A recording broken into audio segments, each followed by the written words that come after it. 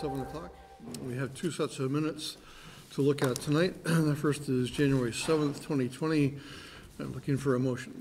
I'd move to approve the minutes of January 7, 2020, with any amendments or additions thereto. Is there a second? Second. Page one.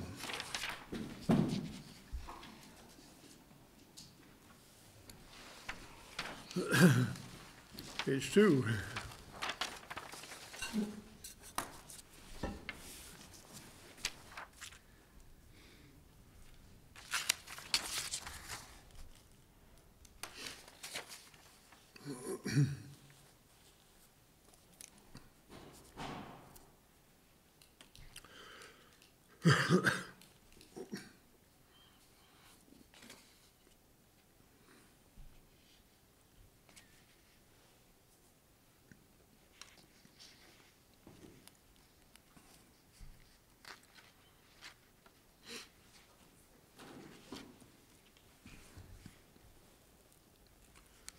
And page three. Uh, Two things under um, number 11, Town Manager's Report. Uh, The first one, the second bullet down, it reads, "Common Level Appraisal Report from the state," and it says "will not be appealed," and I wonder if it should say "should not be appealed," per the advice of the um, Assessor Hinman. Uh, I think we agreed that it won't be appealed, so, Right, it's just, that was our recommend, that was their recommendation, so the recommendation is you shouldn't, as opposed to you will. Um, I don't know, it's just, it- not a big deal, I just picked up on it. The, the next one is maybe a little bit more important, and it's Sure. under the last bullet, which is uh letter of resignation from the town manager, and shouldn't that reflect that the select board said no? Second. uh, probably not. I guess not. Anything else on page three? Hearing nothing. All those in favor of approving the minutes of January seventh, twenty twenty, say aye. All right, Aye. Any opposed? And no abstentions. And we have the minutes of January fourteenth, twenty twenty. Is there a motion? I'd move to approve the minutes of January 14th, 2020, with any amendments or additions thereto.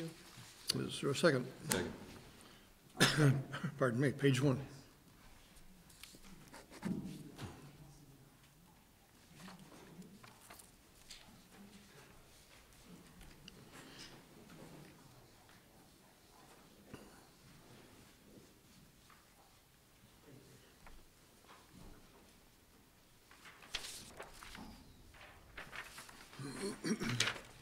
And page two.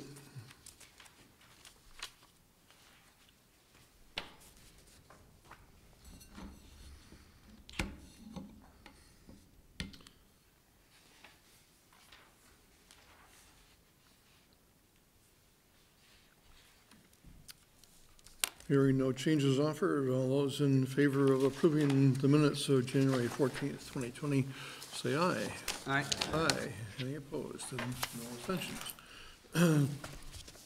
Time for public comment. If anyone in the audience has any issues to bring up, either on the agenda or not on the agenda, this is your time. See no hands raised, we'll move on to item number four in the Champlain Water District Report. Joe Duncan, our general manager and citizen of Williston is here. All right. Hi, thanks. If you'd introduce Yes. Uh, So, um, Joe Duncan, General Manager, Champlain Water District. hello, everybody. Resident of Williston as well, thank you very much for your service. Um, Liz Royer is your Commissioner rep from the town of Williston.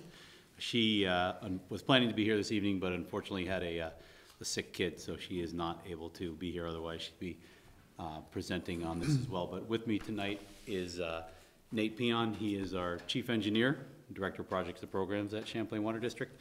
Also a future resident of Williston, potentially on January thirty-first when he closes. So, All goes well. a lot of Williston connections.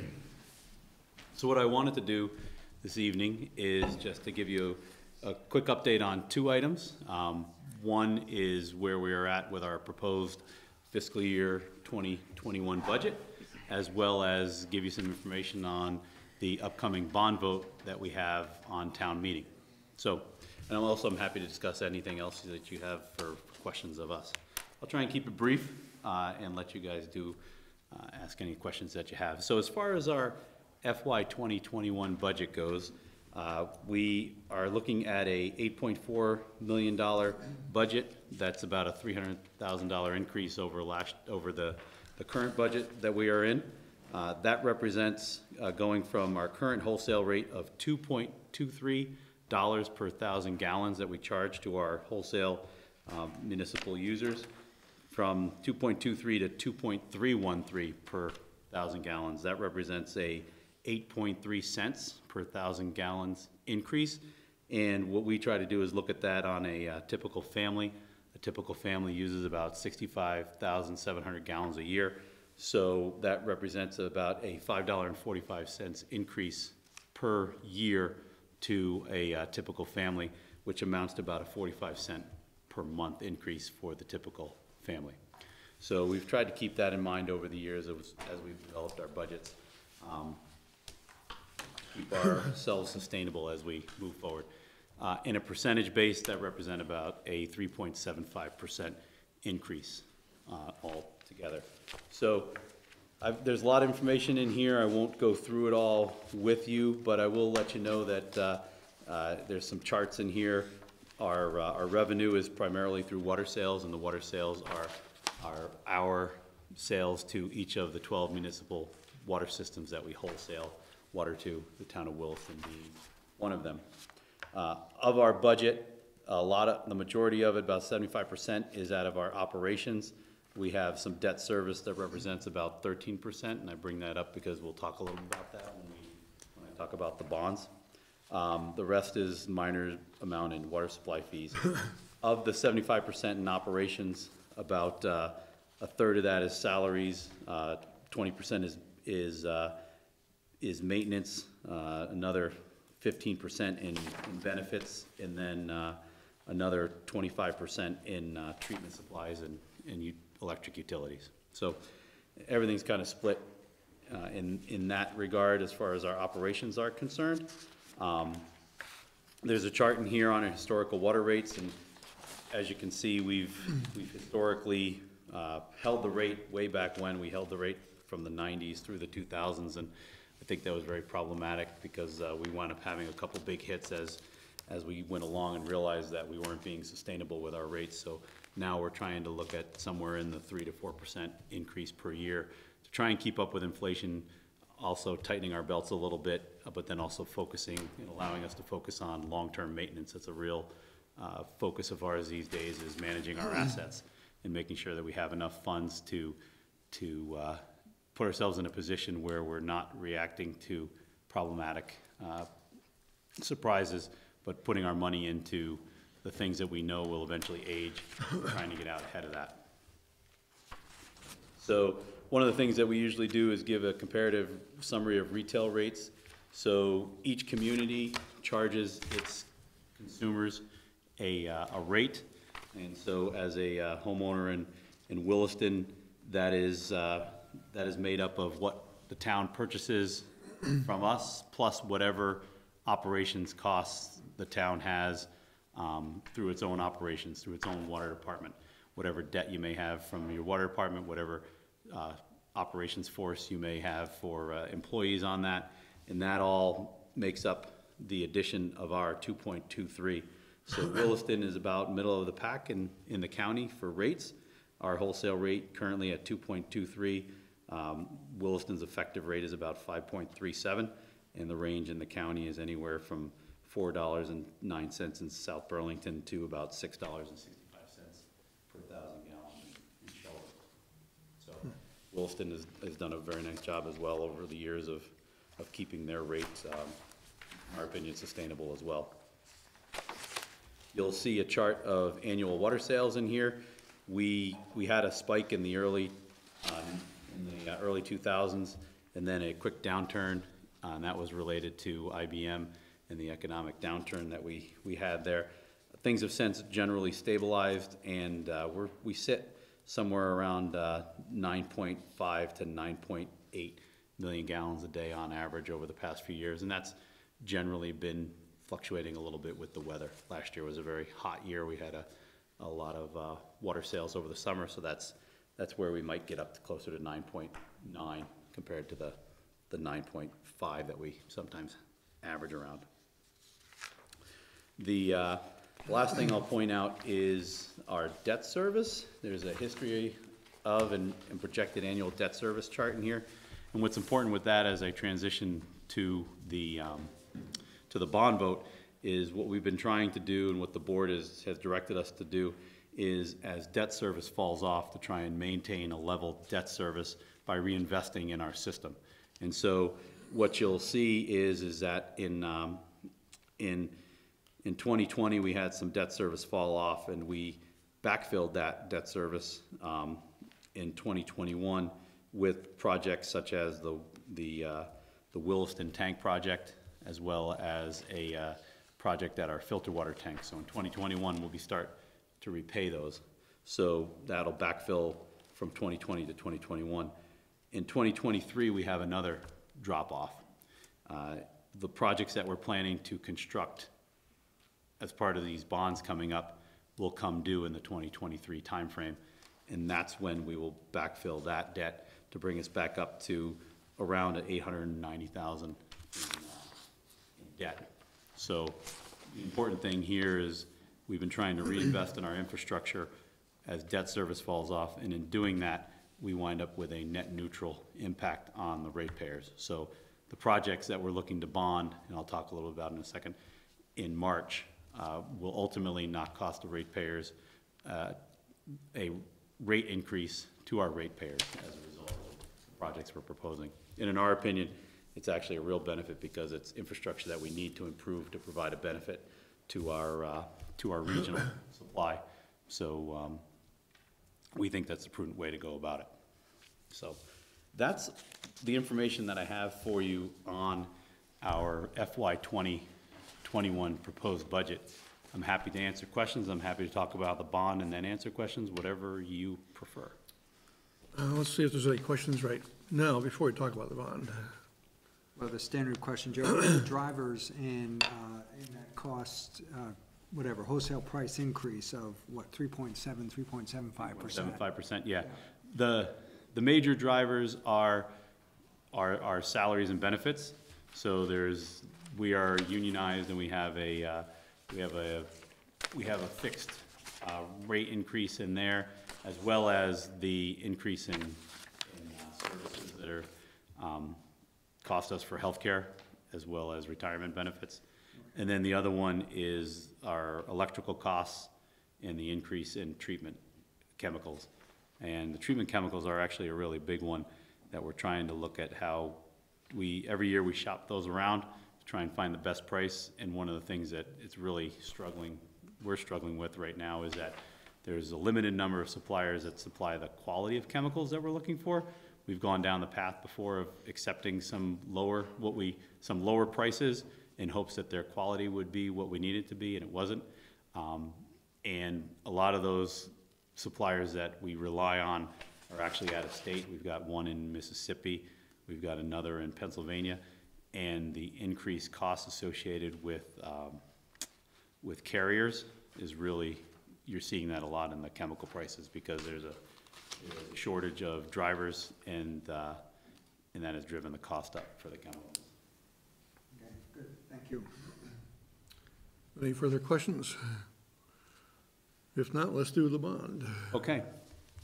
So on, uh, on town meeting day, on March third, it'll be an Australian ballot item. We have one article that is, that'll be on the ballot.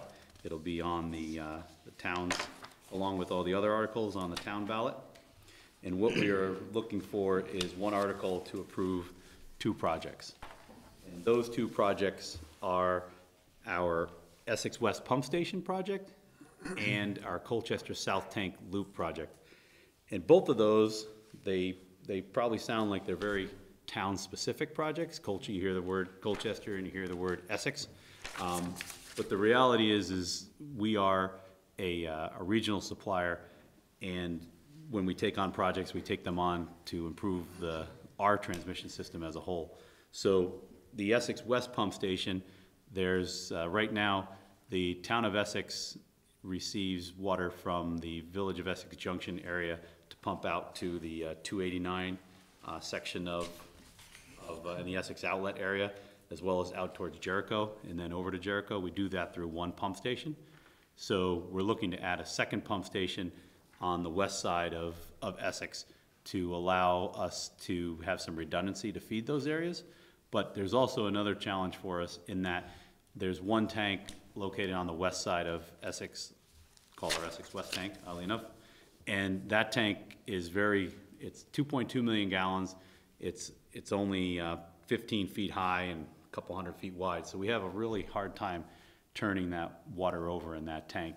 And what happens is, it drives our whole hydraulic gradient for getting water out from Colchester and Winooski uh, through Essex and, um, and through South Burlington. So what we're looking to do is to put that pump station in and have that pump station be able to ease the hydraulic gradient that we're required right now in order to, we have to really vary our hydraulic gradient across what we call our, our high service area. So everything that comes out of the plant pretty much can serve Colchester, Winooski, um, Essex, Williston, and, um, in South Burlington. And so that Essex tank really drives, Essex West tank drives how we have to pump water throughout our system. So taking, uh, putting a pump station on there that allows us to turn the water over without having to, um, manipulate our, our system from the plant really allows us to move water more efficiently throughout our, our transmission system. So it's actually a system-wide benefit to put that tank in. Granted, Essex also benefits from it because it now has a second feed into their, um, into their, uh, service area by the Essex outlets. So that's the idea behind that project. That project is a two point six million dollar project. So we're looking at a three point five million dollar total bond. So of that 3.5 million, 2.6 is represented by the Essex West Pump Station project. The second project is our Colchester South Tank Loop project.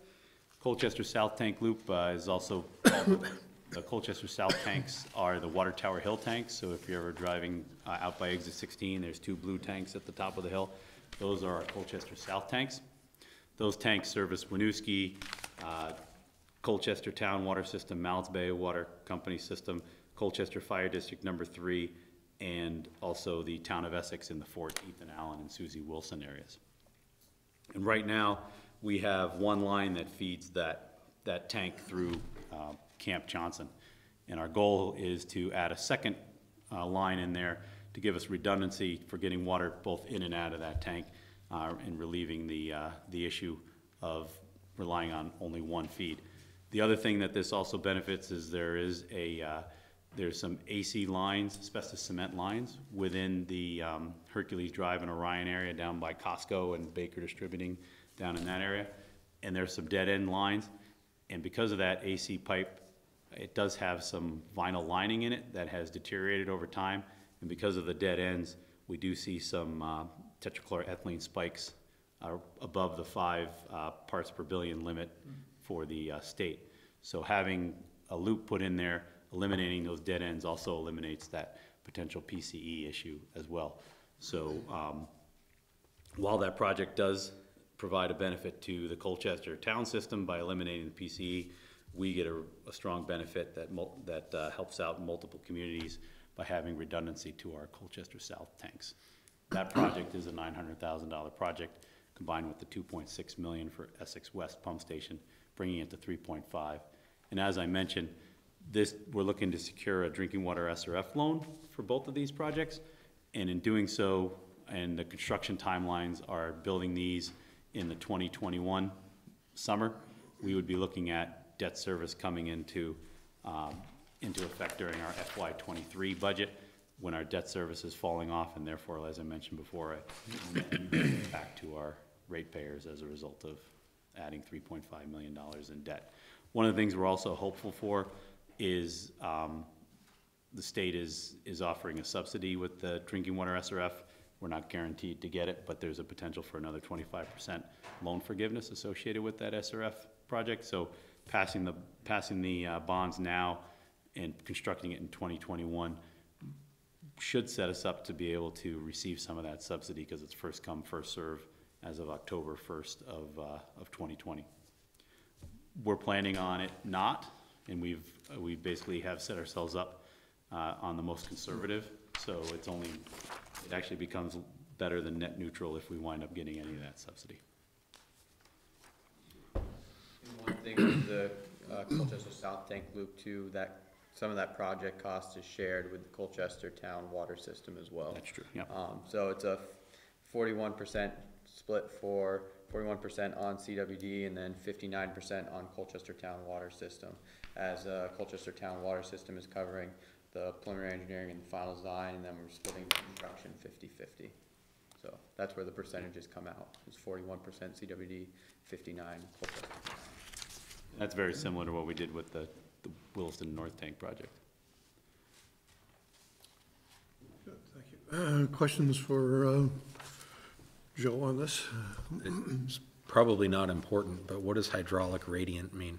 Uh, the hydraulic gradient is. I'm, I'm sorry. Yeah, no, no problem. Yeah, you know, you get, uh, so the, hei- if you think about it, it's, it's basically how, how hard you have to push the water. So, you know, in a, in a, in a perfect world, everything flows by gravity from some high point down to you as a user. Well, in order to get it to that high point in the tank, you have to pump it up to there. So there's a, there's an energy requirement to get it up to there. So that's the hydraulic gradient, is that delta that you have to lift the water to, to get it to the tank level that you then wanna have to come down. And so the, the higher it is, the more energy it takes. And so if we're able to get the Essex West tank to turn itself over with the, with the pumps, we don't have that hydraulic gradient pushing against the rest of the, the rest of the system because a low and fat tank, it has, it has more gallons per foot and because of its diameter.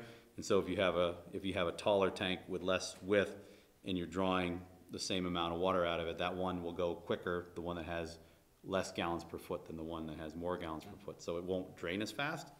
And so because it's not draining it fast, it keeps the gradient high, whereas a tank that's draining fast, it keeps the gradient at low. So we're always have to push out to accommodate the Essex West tank. And if we get the Essex West tank to, to fall faster by pumping out of it into Essex Town, we can get the tanks to operate on the same level. Thank you. Further questions? I have a couple. Rick, yes. So you, you mentioned that the, um, the, the split was similar to Williston. Do you, was it, Williston was a 50-50 split? I don't remember the numbers, so I, Williston, yeah, Williston was a 50-50 split on the tank costs, and the town owned the water line up to it, so the town paid the extra for the water line. And so, what Nate is saying, it's a 50-50 split for the construction cost, but they're responsible for the preliminary engineering and the design, which was similar to how Williston was done. And so Williston, and Shirley, uh, the, yeah, it was, uh, boy, was it like 54, 55, 45, I think, something like that? So it's not too far off from that. but so then, um, I understand that, but in the other project, uh, is there no cost sharing with the town of Essex? No, it's not, because we are responsible for, we're responsible for the pumping, similar to Williston, where we own the two pump stations for Williston. Um, this, although this does benefit them by providing a redundant feed, they don't, they don't need it, although they, you know, they do, but it's not something that is, it's something that benefits them, but wasn't something that they necessarily needed, whereas we need it to turn that tank over, so there wasn't a, a cost-sharing element. We are actually bringing it and tying it in. There almost was a cost-sharing, because there was a thought that they were gonna extend their, extend the water main some, but, uh, we brought it to the closest point of their system and tied it in, and that's where we end. I have a a final question. You said that this is gonna be part of the, um, uh, town's It'll be, it'll be on the ballot. On the ballot. So I, uh, I want to just clarify, you don't mean that it'll be on the town meeting, the town's town meeting warning process? Okay. No, correct, yeah, there'll be a separate warning for it, but when people walk up to and receive their ballots, this article will be one of the articles on the ballots that they receive at the, at the voter poll. Do those ballots then go somewhere else to be counted? No, the way, because of electro, I call it electronic balloting, uh, the, because of the fact that everything is counted, electronically these days. We used to do it separately, where the, we would have hand counting of our ballots. And, uh, I think it was twenty sixteen when, when we had our last bond, and, uh, Karen Richard, who was one of our board members, got the clerks together and said, is there any reason we can't have them also on the, on the ballot so that there's electronic counting? So just report the results from each community to you, and then you combine them all into one, correct? Yep, correct. Hmm. So how does that work, Joe? Because not all, all parts of all towns are part of the Champlain Water District. So, so any, there's twelve water systems within eight CWD communities. And we have one, one board member per, per community, even though one community may have more than one water system, and that's Colchester as an example. Um, and so you actually don't have to be on the water system in the town of Colchester to vote. Similar to Williston, where you may be a resident who's not on the water system, but you have the, uh, right to vote. So that's the case for, for each of our, Interesting, yeah.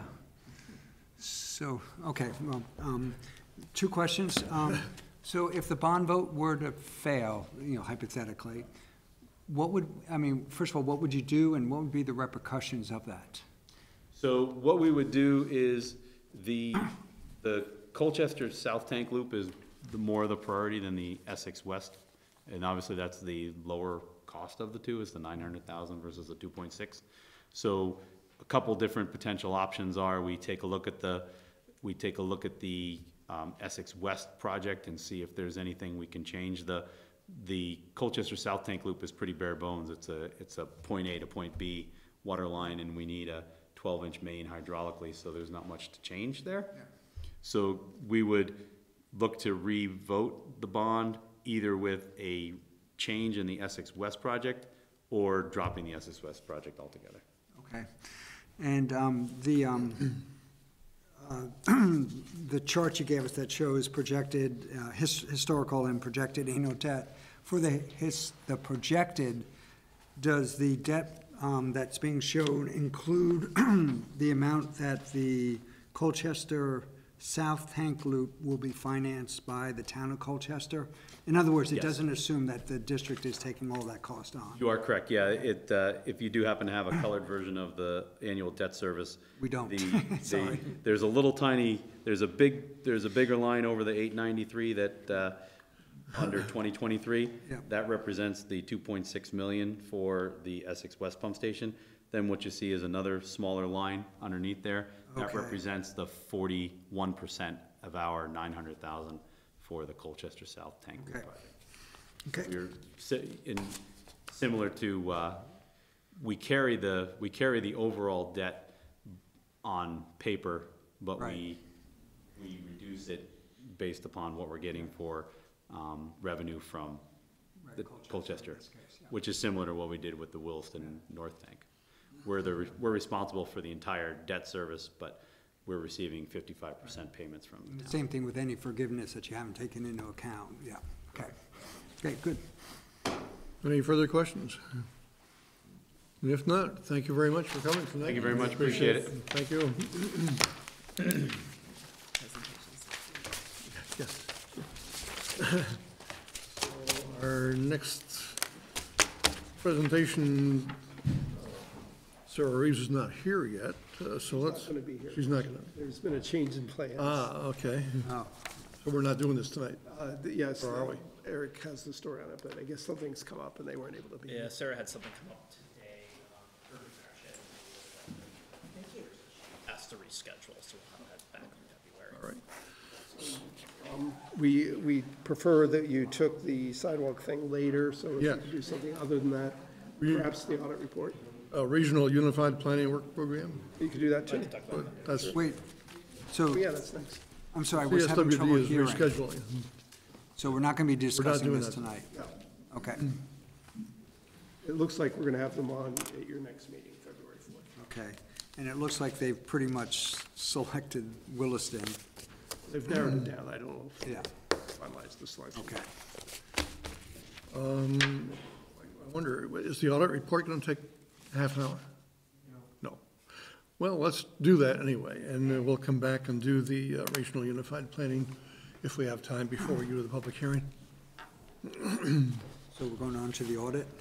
Yes, i- item number nine. is- and- Half hour, I might put you to sleep. Um, So I'm gonna start by just um, highlighting a few things in the memo that you received. So, um, to begin with, you normally would have a final audited financial statement right now, but, um, just mine being new and working through the books of the town, um, we pushed back the field work of the audit and then a couple of big projects. So this is a draft. Um, I've made some changes and sent them back to the auditors, and it's still in their second partner review. But by the end of the month, we will have a final, um, audit report, Um, this year, we, again, don't have a single audit, we just, I think we ended up like seven hundred and thirty-two thousand, so we just squeaked below the seven fifty. Um, What is, what is, do you mind if I interrupt? Uh, Sure. What is meant by a single audit? It is an audit over any of your federal government grant funds. So they have very specific um, audit steps they have to take over each of the different types of grants, and they have to select, they select a sample of all those grants to figure out what they want to test, and it's detailed testing of your expenditures. So, but it's only over your fed, so it's the audit and then more on the grants. Okay, thank you. Um, in the governance letter, the most important thing there is all significant transactions have been recognized and recorded. Um, there is a little piece about the four adjustments that were not recorded. And, um, during their field work and discussions with, um, the auditors, they were just in, not material to the financial statements, and we were both beyond a point of wanting to go back and take more time, so we agreed just to pass on those adjustments. Um, no disagreements with management. Um, Let's see, I'm gonna hop down to the um, financial statements themselves, that little paragraph, and just to explain, um, I actually hadn't worked with modified accrual accounting before myself, so I did a little research. But I just wanted to talk about the difference between, we have two sets of statements in these financials. One is full accrual accounting, where you record all your fixed assets as, as assets um, on your balance sheet, and you record depreciation expense. Um, you record all the debt on the financial statements, and the debt payments are not an expense, but they reduce the liability. So those are the major things, and then the pension plan, we don't account for the pension plan. So those are the major differences between what you see when I'm presenting financial statements, when we do the budget, modified accrual. And in the financials, we have modified accrual, and then we have the fully accrued financial statements. So that's the two pieces of those financials that are in this packet. Um, And unless you have questions on the things between, I mean, I'm, I'm skipping a couple things because they're um, fairly obvious and you've read it. And then um, I'm going down to in- the internal controls report. Um, The audit did not identify any deficiencies in internal controls nor any instances, instances of noncompliance, um, which is a really good thing. And now I want to take you in the audited financials, if you go to page 25 for a minute. And we talked about this, I think, for a minute last week. So I'm looking at page 25, it's Schedule F. And I'm looking at the three lines from the bottom, and it's net change in fund balance. So if you look at the middle column called final budget, we anticipated spending fund balance to the tune of 875,000. We actually only spent fund balance to the tune of three hundred thousand. Um, the biggest, um, reason for that difference is our, um, local options tax was three hundred and eighty-four thousand greater than budget. That represented sixty-seven percent of that favorable variance, and there's some other things in there, but everything else is small in comparison to that one number. Um, and that was all I had. So, other than questions from you? And are there questions? It it appears to me that it's a clean report, It is, which is always good. yes, yep. So Shirley, I'll be honest, I am always left completely in left field when it comes to this report. Um, Usually somebody else is a little better than me, and, and I, but I think the key things that I'm picking up on is that there, were- and I'm only quoting, don't, these aren't my words, I'm only quoting from what I see in the um, memo that um, you put together is four missteps, but that those four missteps were deemed immaterial. So they're very minor. Yep. So I'm guessing what I'm saying is that I'm second- seconding Terry's comment of this is a very clean report. They don't, ma- not booking those does not materially state the financial statements. Okay. So do you do taxes on the side? Pardon me? My family. Sorry.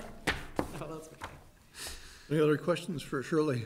No, thank you. I mean, Well, And Jeff, you made your comment about the financials. As I said, it was my first time working through these. It, it took me a long time to work my way through the different schedules and follow it and understand it. So, and I, and I still have some more to do and some more work with the auditors, but, but, um, certainly made more sense than the first time I looked at them. so then congratulations on surviving it and, um, Thank you. yeah, um, you know, without any problems, or I shouldn't, that didn't come out right, without any apparent problems. Yeah. so Thank you very much. We'll move back then to the Regional Unified Planning and Work Program list. And Eric, I think you're talking about. Um, so, recap the Unified Planning Work Program is developed by the Chittenden County Regional Planning Commission each year. Um, the CCRPC receives local, state, and federal funds from a variety of sources that are used for various planning programs, and the UPWP committee decides how these funds are allocated. Um, this, this plan is updated annually, and requests are taken from municipalities on how public funds should be invested towards transportation and other planning programs in, in Chittenden County. So they're preparing this for FY twenty-one right now, consider these in the coming months. Include with your packet, um, the request of the board this year, we combined the planning and public works requests into one document to, to look at. And uh, Planning Director Matt Belanger prepared this, this packet for you today. So in, in his memo, he, he summarizes each of the projects, and then we've uh, included the, the summary application sheets within the packet if you had any uh, questions as you were reading this. Um, One thing I will point out with uh, talking to Matt at the end of last week, he had a conversation with the CCRPC and um, as you recall, the budget discussions last week, the funds were put in for the um, form-based code study. A- And Matt learned from the CCRPC that um, this may be eligible for UPWP funds um, due to the transportation component of it with the grid streets discussion. So Matt's proposed in the UPWP um, to use the fifty thousand dollars allocated in FY twenty-one towards doing the whole study in one year if the CCRPC will pick up the rest of the amount for that. And knowing in his research that the hundred thousand dollars was maybe a leaner number, he, he's proposed a hundred and twenty-five thousand dollar project with UPWP funds, then using the fifty thousand dollars as a forty percent match in the application. Um, the, the positive takeaways from this are if it's funded, the town wouldn't have to pay hundred thousand dollars for it and it would be all complete in one year. So, um, Matt's proposed this for, for review by the CCRPC, um, if the board supports this. And then he's also planning, has projects in here for an official map and mode shift facility projects. We had these in this current, um, FY twenty UPWP, and we heard word at the end of last week as well that when they did their review, they have some funds allocated this year for these projects, but it's recommended also, um, have them in the- in the FY twenty-one at UPWP as well, in case there's additional work to be done, so. I touched base with Matt on that today, and he, he advises that we keep these as well. On the public works side, uh, Lisa prepared those documents, and I don't have a lot of additional details to share, but I could definitely, uh, dig in if you have any additional questions here, but, but what the action for the board requested tonight is to support these projects with a motion, and would- would inform the CCRPC accordingly. Thank you. Uh, Questions from the board regarding the projects? Eric, do you know what the, um, sort of, for lack of better words, or maybe it's not the best word, the process that, um, Matt and Bruce and Lisa use when outlining or determining what projects should be recommended? I'm not sure exactly how they internally in their departments, but I know they have a number of projects that are forecasted out for a number of years, and they can think what may be eligible for some of this grant funding, and then prioritizing what's kind of the shorter term project to accomplish, than looking to see if these funds can be activated. Certainly not meant as a disagreement, it's just, it would just be helpful for me to know, you know, what that, I- I mean, if you could get that to me, fine, it's not gonna affect how I vote tonight. Um, The one that was, I thought was a little bit surprising was the traffic count request, but I'm guessing that's because it's actually the, um, the Chittenden County Regional Planning Commission that provides the staff that does the, the counts. Yes, that's correct. I, Yeah. I know they usually, uh, I think interns, um. in the Something along those lines during the carry a lot of summer. all of that. And those may not be the exact traffic counts we actually end up requesting, it's the concept of would have four, I think might be what's important there. Okay, Other questions? There is a suggested motion uh, to approve these. Move to approve the projects proposed for inclusion in the Regional Annual Unified Planning Work Program for fiscal year 2020. Second. Is there any further discussion on the motion? Bruce just showed up, I don't know if it's worth getting an answer from him, or? Sure, why don't you, uh, Real quickly, Bruce, I asked Eric, uh, what was the process you, Matt, and Lisa used uh, for coming up with the projects that are recommended to be included in the UPWP? Uh, I can't speak for Matt. Okay, For Public Works, there are requests that we get from people during the course of the year for different things, most of that. The only other one I believe is the, isn't there one there for a sidewalk, yes, sidewalk study? Yes. That was to look at, uh, filling in that gap along Route two A. Oh, uh, that's path, yeah, that's the, the, the- almost more like a recreation path. Here it says path, Could be path or sidewalk, it's the same, the same same basic thing, Yeah. okay, But, so, uh, that's where the fires come from. okay. Okay, I'll follow up with Matt on the, on the planning side. yeah, no rush. any further discussion on the motion? If not, all those in favor of the motion say aye. Aye. Any opposed? So we're running a little bit ahead of time, but let's, so maybe we can go to the end of the uh, order and the town manager recruitment process and talk a little bit about that for 15 minutes before we have a public hearing. And uh, so Joy and uh, Jeff and I met uh, yesterday, along with, on a conference call with uh, Elaine Haney from Essex Junction, who I think is the current chair of the village uh, board, regarding the process that they used uh, to recruit a uh, new town manager for the the town and village, kind of combined uh, seat.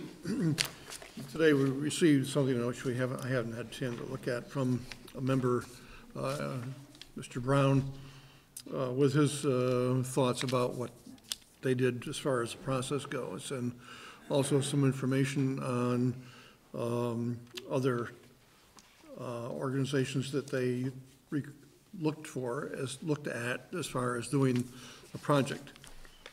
So they did a, um, they, they hired a a firm called Municipal Resources Incorporated.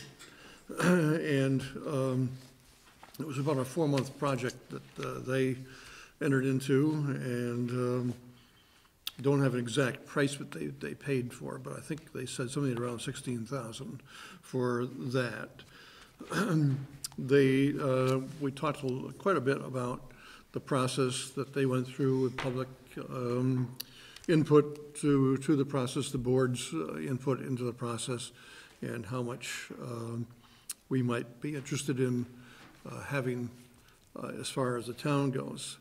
So at the moment, we have sort of a subcommittee of the board with the three of us that are uh, doing some of the groundwork. And um, what I am suggesting tonight is that we send out a request for proposals to two firms.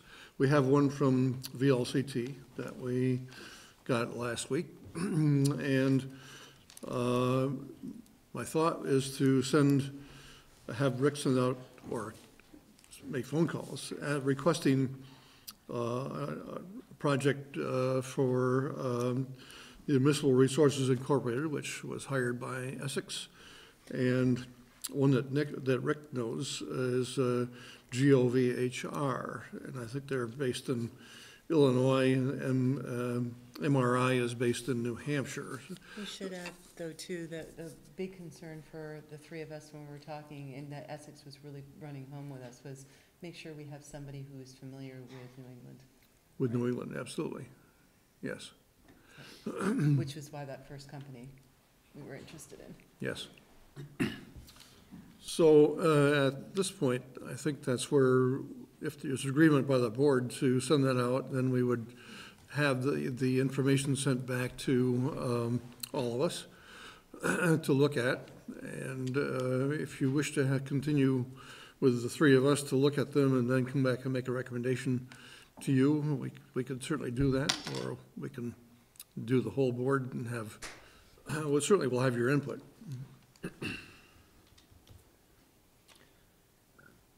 I think a smaller group is better in this circumstance, so I think I'd be interested in hearing the recommendation. Yeah, it's not that I don't wanna be involved, um, I just think you've already got the ball kind of rolling. Um, I know, If you did, I, I- like, I don't have any problem stepping aside or whatever. I don't want someone not, to not feel that they yep, can speak. I understand, uh, no, I'm fine, um, I just think we're looking at options, I know time is of the essence, as we spoke about last time, but I do think it's a good idea to look at some options. I think it's a good idea for us to um, give all of the information to you to look at, and we'll, we'll certainly be glad to do that, and then make a recommendation and uh, ask for your input at that point. Um, And hopefully, the sooner the better, to get this ball going um, and down the road, so that we can hopefully have um, a, a person on, on duty by July first. That would be our goal, certainly. The two takeaways I, I, I came away with, one is, we, I, I think we are gonna need a firm that is really gonna take the lead and kind of, we're gonna have to trust them and, and to, uh, to do a lot of the groundwork, the legwork, because we just aren't gonna be able to, as, as I, I know myself, I just can't spend that much time. So we really need, I mean, we, we'll need to pay for it, but we really need that assistance, if you will. The other one was, um, what Essex did is they actually solicited proposals from various of these recruitment firms. I'm not sure we need to do that. Um, that ended up taking them a good, I think, a month or a month and a half, if not longer. They had the two between the village and the town, and I also felt, I don't know if you felt this way, but after listening to her, I felt like they had done a lot of that legwork. for Well, us. I- that's a little bit of, I didn't want to quite say that publicly, but yeah, that's, a little bit of it But is. they had, because they figured out so Yep. much, and that New England thing was the one that just, I really walked away with going, okay, that was so important. I think that they actually went out and advertised with this two groups, the um, ICMA and the VLCT, uh, to actually do the advertising um, more or less themselves, I think, and then have the information go back to the, um, the company. You know, it- it seemed like they had two major efforts going on. One was selecting the firm. Yes. And then using the firm to do the whole recruitment process. And I'm hoping we can shorten up the selecting the firm piece of it. Because I still am worried. Um, Six months, well, it's not six anymore, it's more like five and a half, maybe even shy of five and a half, is going to go awfully quickly. Yes, it is. So, Sounds like we um, have an accord. I I have, uh, yes, if I may. yes, please. Um, First, uh, I should point out, um, three members of the board constitutes a majority. Yes. And the board, i- if you have a subcommittee, it should be posting notices of your meetings and having minutes. Okay? Secondly, what was the, you, s- you mentioned um, two firms, Municipal Yes. Resource Inc., MRI, but And- what was the other And one? GOVHR, which is one that you had ra- Actually, I don't, I, I just picked that up from um, Essex. I- I Ah, okay. I'm Oh, okay. I actually, with maybe the Essex manager had mentioned him, that group, rather. I think you did, yes. I'm not familiar with it, but Yeah, okay.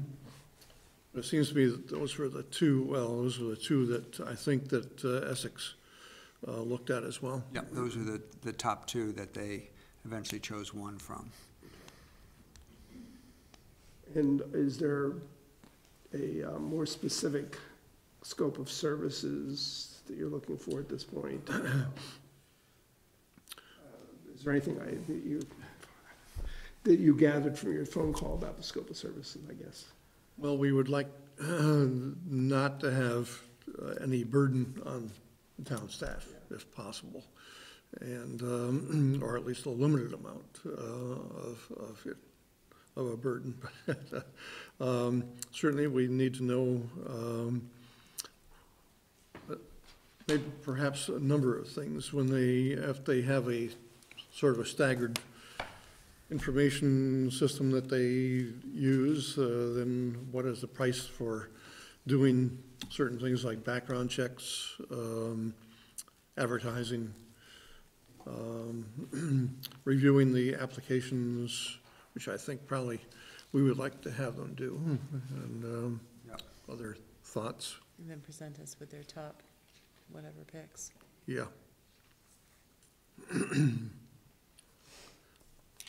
And one of the pieces I liked about the way Essex did it is they had a public involvement co- aspect of it that I, I just really think is a good idea, you know, if we can. What does that look like? I'm not exactly sure, uh, but they had some, They had chosen some number, some members of the community to work with the select board in determining who might be a good fit. Okay. and, and there was definitely interaction between some of the candidates and somehow they assembled a citizens committee to help with the process.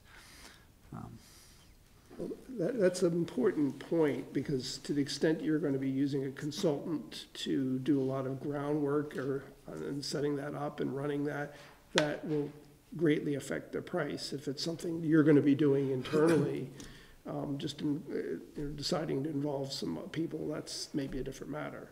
So I just caution you, if you're, Yeah. the public involvement component is important, but it's wide open as far as what that means. Yep. And so if you're trying to narrow the, What's that? I was thinking smaller as opposed to bigger, or we will not get a good decision. That's gonna be the problem. I definitely think you should bring the public in, but I don't think you should be having a citizens group and a select board group. I think you're gonna just, you won't get Okay. anywhere. and, and just to be clear, I, I'm not advocating, One way or the other. I'm other? just trying to, uh, help you narrow or define the scope, not narrow it, but define the scope, because I'm just pointing out that that component of this is, can be wide open and can and be very labor intensive. Um, If that's what the board wants, that's fine, but then I need to communicate that to the consultants. Cost is one aspect of it. The other piece, again, is time, That, is, that was what I was thinking. My thought was if we needed to uh, have citizen input, input, we would ask people if they were interested in serving on uh, a small committee. Um, Have two or three uh, people from the community with different points of view, and um, along with uh, the gang of three here. And, the gang, I like that. Yeah. Yeah, town manager was hired by a gang. I thought VLCT. It's usually the other way around, he's run out of town by a gang. I thought when VLCT presented last week that they mentioned that um, doing a- a, a search like this, we didn't have to abide by the open meeting law, but I'm not sure. As far as um, the actual interviews being held in executive session, that is Uh, correct. Okay, but, But that's our- all, but our meetings, yeah, would- if you're having a meeting, you still have to warn it. You still have to, regardless of, as long as it's more than two Right. board members. right, okay, well, we, Well, This time, we're just not connecting you on the conference phone. I don't think I participated because of the static or whatever. Um, That might be something we want to think about, whether we want two or three select board members on the committee, because it may streamline things just to have two, as opposed to having a meeting every time Oh, it's not that, it's not that burdensome to just post it. Uh, You know, that's something the staff could, you know, if you tell us the date and time, we can get it posted. and- Okay. And the minutes can be very, very brief, so I wouldn't Okay. use that as a mechanism to decide how many should be on it. Okay. Okey-doke. Anything else tonight on this? Would that be with you, Rick, or with Eric, or Sorry. when we, when we have that communication about? I, I would probably have it go through Eric, Okay, yeah. piece of it. Anything else before we go to, to the public hearing? All right, then, it's just about eight o'clock, and under notice of public hearing on town charter amendments. Under the authority of seventeen VSA, section twenty-six forty-five, the Williston Select Board will hold a public hearing to receive public comment on proposed amendments to the Williston Town Charter. The hearing will held, will be held on Tuesday, January 21, 2020, at eight PM at the Town Hall Meeting Room located at seventy-nine hundred Williston Road. This is the second of two public hearings required under state law before the amendments can be considered by Australian ballot at town meeting. So our proposals uh, are three in number as far as the uh, charter amendments go. Um, Eric, I think you have a uh, a memo to us tonight, which you perhaps should explain, and we'll go to public hearing. Yep, um, find it, oh, it's right in front of me. Um, pertaining to the letter from Bob Fletcher on Friday, Terry? Yes. Yep, the, so the town received an opinion from council on Friday, um, reviewed the language that we proposed in the town charter and also the MOU draft that we have with the, with the library trustees, which is later on, on your agenda this evening. Um, One, one point to raise that, that Mr. Fletcher stated in his letter, um, if the town should proceed with the MOU, it would not be legally enforceable unless the charter changes currently under consideration pertaining to the library are approved. Um, these changes effectively transfer management authority over the library director from the trustees to the town manager. Um, and this proposal, um, just as some, some background, was introduced, or formalized past, uh, and present practice by the town. And in addition, Mr. Fletcher offered language changes to the charter proposal. Um, so staff is recommending tonight the select board choose one of two following, um, pathways to proceed. To revise the charter changes with recommendations from the town attorney and proceed to warning these changes at town meeting. I have some language that would accomplish this in a single article if, the board makes that decision. And the other pathway would be to remove all char- charter changes pertaining to the library from the charter proposal. Um, Two possible pathways that, that staff is recommending to be considered tonight. Um, And regardless what the, what the boards decide, staff recommends the board still enter into the MOU with the library trustees, and that's there on the agenda. Good, thank you. So I'll open the public hearing, and Steve, I presume you'd like to talk uh, about the letter you sent to me, and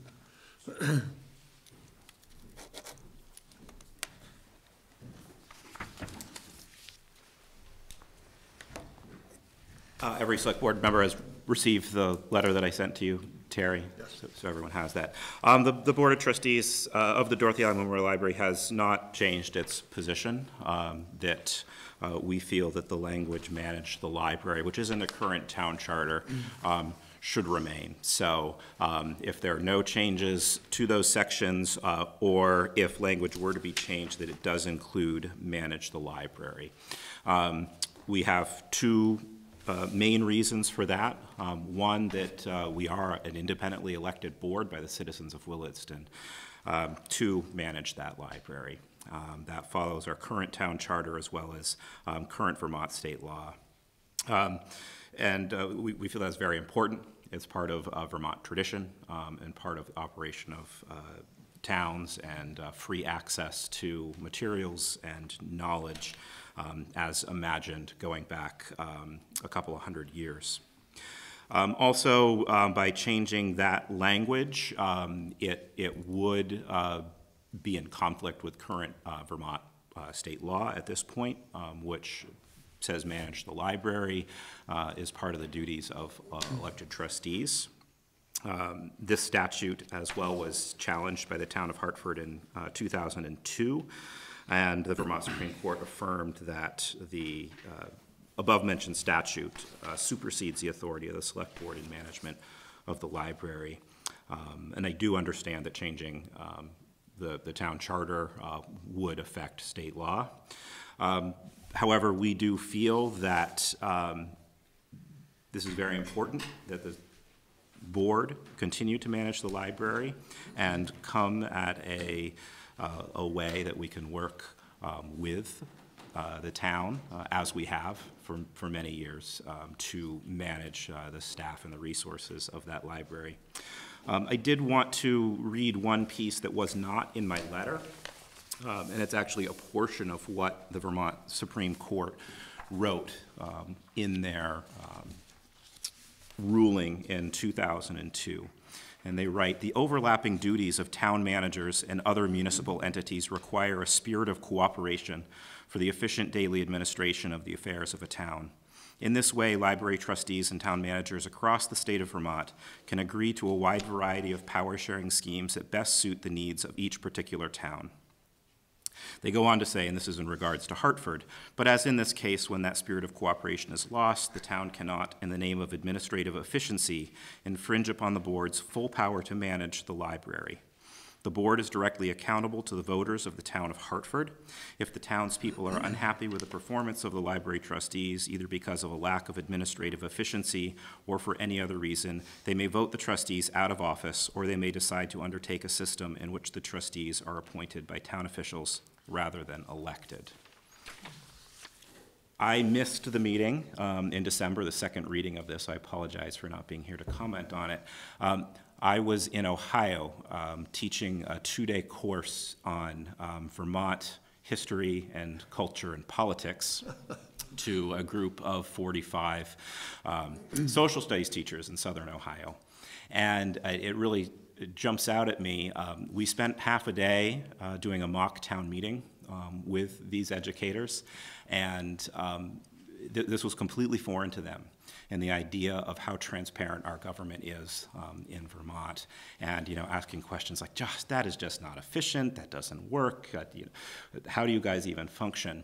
Um, and, and my response to that group uh, was that you know Vermont, the, the way we govern, um, it, it, it may not be necessarily efficient. Um, it may not be the, the, the quickest way to the end.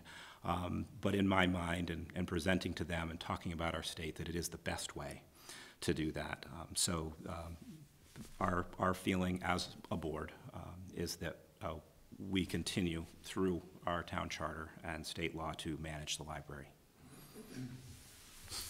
Thank you. Any questions for Steve? I do have one uh, for you. Are, is the library board still interested in pursuing the MOU? Absolutely. Uh, We think that is a, a a wonderful way to address the, the, uh, you know, the questions and, and answering some questions and uh, coming to effective management of the library. Right. Any questions for Steve? I'm not sure how to exactly ask this question, so I might stumble a little bit. Hopefully, it will, it will come out. It, it seems to me that there, um, the library board's position is manage the library is the appropriate language. And, and town staff has recommended, um, different language. And I guess my question is, is, is there a possibility that the two sides, and maybe it's through the MOU process, I don't know, and I guess this is maybe even a larger question than just for you, Steve, is, is there, is there a way in which the two can agree on the language that should go into the town charter? We, we, we strongly believe that the language manage the library um, should remain in the town charter, and it should mirror state law uh, within that. That's, that's what we're elected to do. Um, Creating an MOU or other agreement of that type that defines um, how that takes place, um, we're completely open to. And, and in, in practice, that's how that has proceeded in the past. So i- if, and I'm sorry, I'm not, again, I don't know how to ask this question directly, so if I end up being blunt or kind of off the mark, please, please, uh, give me some latitude here. Doesn't that then prevent, if the insistence on the language, manage the library, be in the town charter, kind of diminish the ability to have an MOU down the, down the road? Because the language that's in the charter will be the language that governs.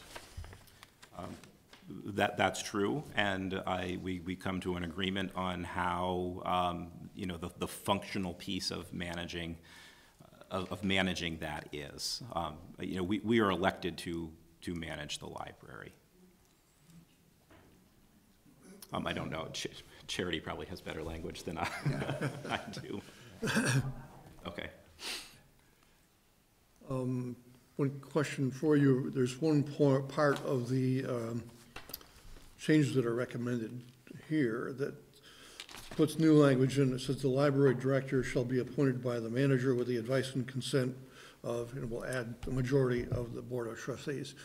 Is the, are the trustees in favor of that part of uh, the charter change? We- We were fine with that, um, because we read it as the Board of Trustees have the, the the final say. And actually, that's been modified, that language, it's uh, appointment and removal. But yes, Uh, right. Which we agree with. Are there further questions for Steve?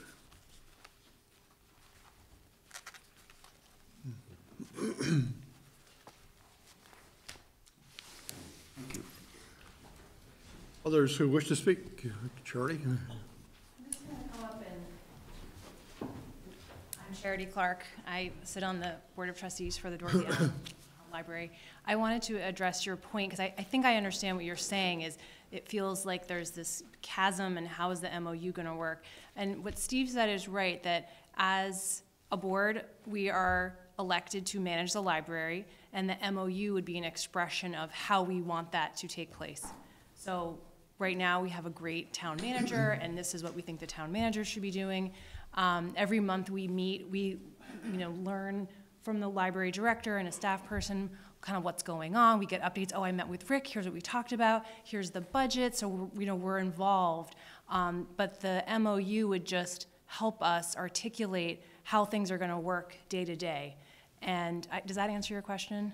It does, I, I- and, and again, my questions aren't meant to uh, relay my position, if you will. It's just try to make sure I understand.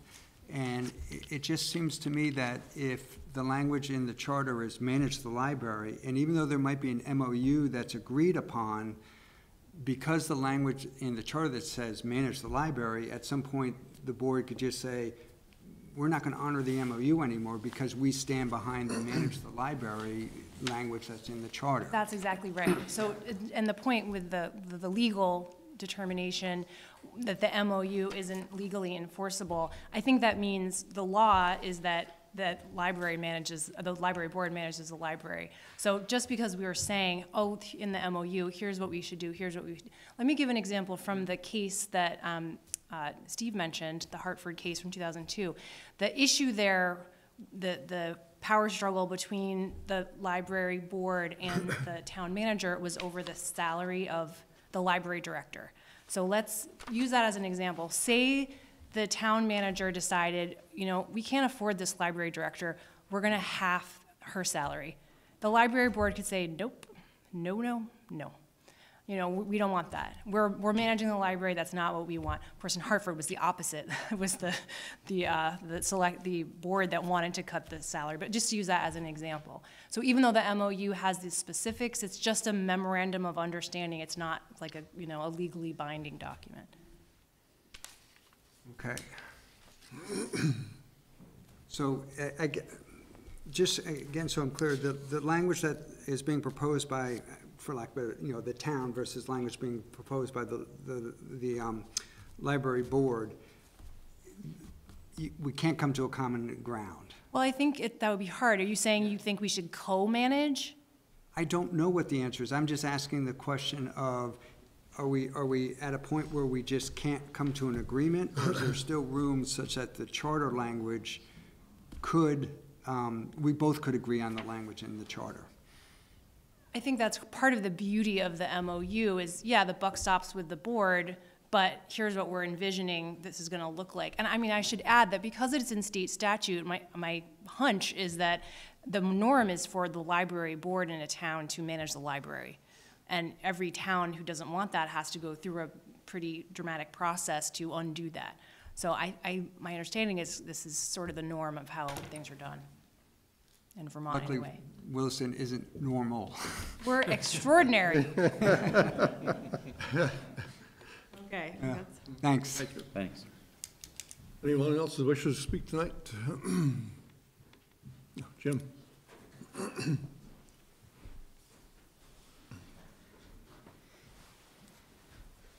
Good evening, um, Jim McCullough. I reside in the Northeast Kingdom of Williston, and uh, I want to thank you, Eric and, and Rick, and the tireless members of this board who come here regularly in the evening when they have other family uh, business obligations. Thank you very much. Uh, I'm coming to speak uh, in behalf of the Dorothy Alling Memorial Library. Uh, and I'll just start out by saying this is a quote that we're all familiar with. If it's not broke, don't fix it. And I'm, I'm struggling, and, and people that I've inquired of have struggled to find out what's broken. So, in the late 40s, I went to the Williston Library in the, the uh, Warren store, which is now torn down, across the route to from the Federated Church with my mom and old uh, Floyd, Mr. Putnam, to me, thank you very much, was working the library there. And some years after that, I went to tea with my mother in a ridiculous little suit with a vest and cap and shorts to visit Dorothy Alling um, at her home. And when I was in the seventh grade, we had a brand new library built where it sits today, the Dorothy Alling Memorial Library. And I recall my seventh grade teacher saying, This is a beautiful building, too bad there's no books. and I thought, well, geez, there's some books here, but truly there weren't enough. Since then, our library board and our library directors have combined to not only fill that library with uh, overabundance of books, more books than they can store. They built a, an addition on the library. They added computers. They added all kinds of programming They're not just a library, they're a town center. We don't have a town center, by the way. That's another topic I'd approach the board with another date. But it's as close as we can come, intergenerational town center. It's not broke, don't fix it. I urge the board um, to just say, you know, we don't need this charter change, period. Work on an MOU, um, which I understand is well in progress, but I don't know if everyone can agree on it by vote time tonight about whether it ought to be printed in the, in the uh, town report or not. But I just urge the board to say, you know, um, there isn't a big rush. There's always next year if we do discover that it's broken.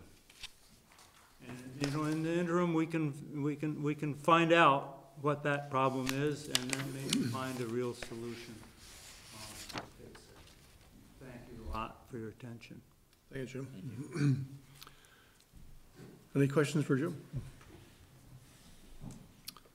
If not, are there other folks who wish to speak tonight? Yes.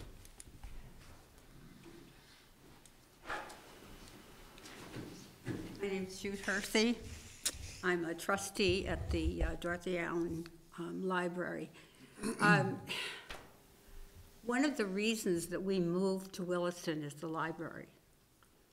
Um, When we moved here, they just had opened the children's wing, and it was so impressive um, when we were visiting that, that we decided that we would actually look to, to build a house here in Williston. Um, and so being familiar with things, I've been here for 22 years now, and I've gone to numerous uh, conferences for um, libraries in, in Vermont. And every time that I'm there, I'm always impressed about how, how amazing our library actually is. And I agree with Jim McCullough. It really is about as close as we can come to, to have a community center. Um, the, it isn't just the books that are there. Um, there's a genuine love for this library. And I think people in this town take it very seriously when they elect people to sit on the board. Um, when, for instance, when our um, bookmobile died, um, and we debated, would we just let the whole program die, or would we look into what else we could do if we had one that was specifically made for the library? Um, people contributed amazingly. They contributed enough money for us to be able to get this beautiful bookmobile. And one of the most impressive things, Jim was talking being a child going to the library, um, that I remember being there one day and a little boy came in and he had his piggy bank. And he opened it up and poured all the money that was in it because he wanted to contribute it to the, to the bookmobile. So, uh, sitting on the board as a trustee, I've taken really seriously, and I think everybody that's on there feels this very same way. Um, I think there's a difference between being elected or being appointed, because I sit in other um, positions in this town, um, and the ones that are appointed, while we really, really um, put our heart into it, um, we are appointed, we can be taken off that at any point. Um, being elected by the people in this town, and we all know how hard it is to get people to go out and vote. I think that would be sending the wrong message to the people in the town if we kind of ceded the, um, the authority to run the library, um, uh, to someone else. Um, while we've been working on it together, it's been a pleasure to work with Rick. Um, again, he has a wonderful reputation, and we've really never had any noticeable problems um, that I've heard of, anyway. Um, but Rick's leaving, and if you pay attention to politics, um, all you need is to have one person come in and decide they're going to change everything. I don't think this is the time to make changes. We're going to have to adjust to a whole new town manager, and Rick's shoes are going to be very hard to fill. Um, but I think the way the charter is, and that the um, authority for the general running of the library really should remain with the trustees. And again, I'm very proud of the library that we've had here. Um, As I said, as a child, I spent so much time in the library um, and even taught my sister how to read, and we got her picture on the front page of the paper because we read so many books in the summer. And that's just a tiny little program compared to what this library does now. I'm amazed at we're what we're able to do. So I don't really see any reason to make a huge change, and especially not now. Thank you. Thanks. Anyone else who wishes to speak uh, tonight before we close the public hearing? See no hands raised, the motion to close the public hearing would be in order. I'd move to close the public hearing. Is there a second? Second. Any discussion on the motion? All those in favor of closing the public hearing, say aye. Aye. Any opposed? So I have a suggestion under uh, the charter change proposal.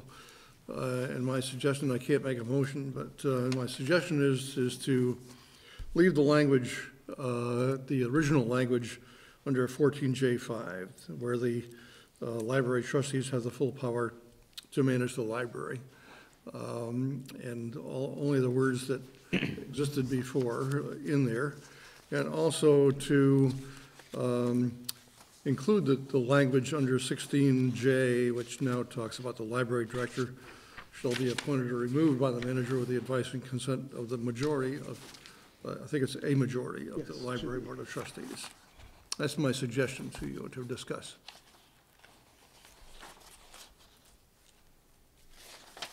Actually, actually agree with both of them. That's in the charter change, it's, that's the proposed charter change itself that you're amending, that you suggest that we amend. I'm suggesting that we ch- change the wording in the proposal that we had before us to do um, the two things.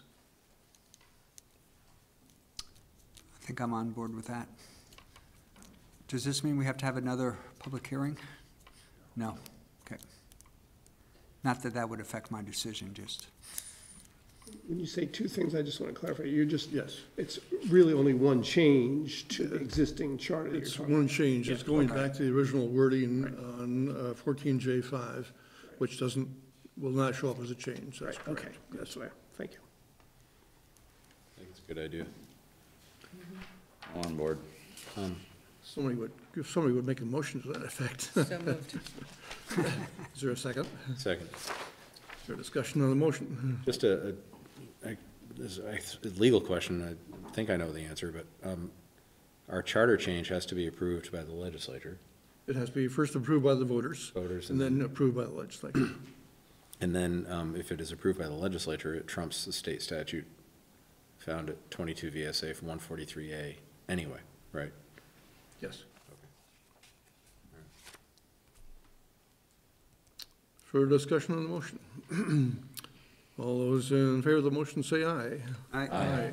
Any opposed? So thank you all for coming tonight. Mm, Thank you. I think we've solved our problem. please don't clap. No, no clapping or joy in this room. No clapping or joy in this room. Or Laughter, but it has to be derisive, We're just doing our jobs. yeah. Yeah, but that was, that was, everybody was happy about the way that it Yes. this time. Yeah, I it don't doesn't think happen, that's bad. doesn't, doesn't, doesn't happen very often, Jeff. Exactly. Um, Did you have anything to say about the chart, or the memorandum of understanding, Rick? Uh, Do you want to address that? Sure. Um, I, I, uh, there's no ex- um, immediate time pressure on this draft MOU, but I wanted to get the, because of all this discussion, I wanted to get you the latest draft and keep this process moving. Um, When I um, first had a conversation with uh, our attorney on this, and he described that, um, do you understand that this won't be enforceable? And I, do you still want me to review it and provide comment? And I said, absolutely, because I think there is value in it, uh, regardless of whether it's enforceable or not. Just as a select board policy, uh, you have lots of them, they're not enforceable, but yet the Yeah. board follows them. Um, This is a little bit different because there's multiple parties involved and there's a lot that can go wrong. um, And the whole thing could easily fall apart. Yeah. But, yeah, I, I do think it, it does serve uh, a good ground, lays a good groundwork for a relationship that hopefully will continue to be very positive in the future. Um, And I, I chafed a little bit when um, Jim was saying, if it isn't broke, don't fix it, because that's not quite the situation here, um, but the board's already decided, and that, that's fine. Um, I, I, what we were trying to do is prevent a problem happening in the future, because what we have now is not consistent with what the state law and our town charter says. But that's okay. Could- Could, I, that went over my head a little bit. Could you say that again, or say it differently? Well, the, the, as I said this earlier, and and I'm not, I'm, again, I'm not trying to I, change anything, I just. Yeah, no, it- yeah. Um, my point that I made earlier was that the, um, library director manages the library, just as the town manager manages the town, and both persons, whoever serves in those positions, are supervised and given policy direction by the respective elected boards. Um, And um, so the, all the responsibility for lots of different things um, has been worked out between um, the library trustees and, and staff, and it's worked quite well. And, and they're quite right, if there's a change, in either the manager or in, potentially on any board member, that can fall apart pretty easily. Yeah. So, but my point is that um, it's good to have that discussion, even if, you know, it's being resolved, that's fine. Um, But I think that having that discussion was healthy and hopefully will set the groundwork for um, a stable relationship in the future regardless of who's in those various positions. Okay. Yeah. So, anyway, how do we get off from that? Oh, it was, I was responding to a question. Sure. So we're we getting close to having an agreement? um, Yeah, so uh, we've, um, there, oh, there, um, there aren't a, a lot of substantive changes from the earlier draft. We, uh, the attorney added a bunch of whereases, which I, I actually kind of, I knew, I was thinking of Jeff when I raised the issue, but I do think it helps, um, set the, the table, so to speak, for the issues. Um, there is one issue in there that we have to think about, um, and I, I think the answer is, um, uh, well, the issue is, um, what happens if there's a grievance or an issue involving someone at the library? It comes to the manager's office. It's, whoever um, brings that grievance is not happy with the way the manager decides it. Who hears the appeal on that grievance? For normal town, or not normal, for most town employees, it it comes to the select board. Uh, If it's a library employee, should it come to the select board or should it go to the library trustees? Now, I brought this issue to the attention of library trustees, and after some discussion, they felt it should come to the trustees. And in fact, I, I kind of felt it should too, given the, the relationship there, but, um, but our, our attorneys are raising the question that it's inconsistent with the town policies. So I, I, I don't know, um, I haven't had a chance to discuss this with the trustees, but that's an issue I think we need to have a little bit further discussion on before we finalize that one. Wouldn't it automatically go to the trustees because they manage the library? Well, right, so I, I guess that's true, but, well, of course, a lot of other things, and, and this is the problem, with a lot of other things should be d- done by library, but they're not. Um, and they haven't been. Yeah. But this, um, uh, MOU will help to define and, and give some comfort to the manager. I mean, the, the issue that was raised about setting the salary is extremely important to me as a manager, because if I'm responsible for managing the, and, and having some responsibility over the library director, um, that person's gotta be within the same pay structure that everyone else is. And to the extent that either the library trustees try to change it by either reducing it below or raising it above, then I'm gonna have a, uh, the manager's gonna have a problem with that, because it's not consistent with the, the pay structure we have. And it's, it's a well-thought-out pay structure and with, uh, a whole series of criteria that are used to evaluate a position every time we create a new position. And, um, so someone from the outside changing that can really then, uh, it, it, it's- a major issue. That's why it was uh, brought out in Hartford and, and went to the state Supreme Court. So, um, and, and this MOU will help somewhat, but it won't eliminate that problem. But anyway, I'm not here to argue that point. I'm just raising that as an issue in the MOU. Um, So I, I think um, I'd like to have a discussion with the uh, trustees on that.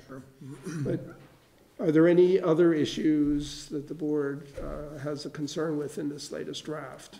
Of the, of the town charter. No, no, the MOU. I mean, you don't, you don't, we, the board doesn't, I'm not asking the board to approve it tonight. I, I just trying to get it moving inches closer to a resolution on this between the two boards. I, I can't honestly answer that right yet. Yeah. Okay, oh, that's fine. I'm just, I'm more concerned about, uh, the word isn't concerned, I'm sorry. I just wonder is, the MOU is gonna be good to have the policy in place. I just worry about the concept of, down the road, could it be deemed to almost to be, the word isn't meaningless, but just disregarded if the, if the library board were ever to take a very strong stance and just say, yeah, it's just a policy, you can't enforce it, and we have that language in the charter that says manage the, the library. Yeah. But we, The answer is yes. correct, yes. Yeah, I- I I mean, I understand the library's viewpoint. Would it ever get, would it ever get to the, I mean, not that I'm at all envisioning this, but would it ever get to the point where the town and the library have their own separate budgets? I- Probably not, but it could happen. Unless the library gets power to impose a property tax. So, Oh, my goodness, yeah. so no. Where would the revenue come from, right? You can create as many budgets as you want. Those book fines are gonna go up. Similar conversation with my teenagers at home. Ah, just- Anything else on MOU tonight? If not, we'll revisit this at some point in time. Thank you. Thank you. Yeah. So, we're on to our next problem, and that is sidewalk winter maintenance requests. And Our next opportunity, did you Yeah, say? and Eric, I think you have a uh, memo for us. So at the board's request after our meeting last week, I, I put a memo in your packet that breaks down um, some cost numbers um, and some different scenarios here to follow up on the request. Uh, We got to this point, we have requests following the board's policy for um, sidewalk maintenance to include an FY twenty-one, uh, start next winter, for the Hamlet neighborhood and um, Indian Ridge neighborhoods.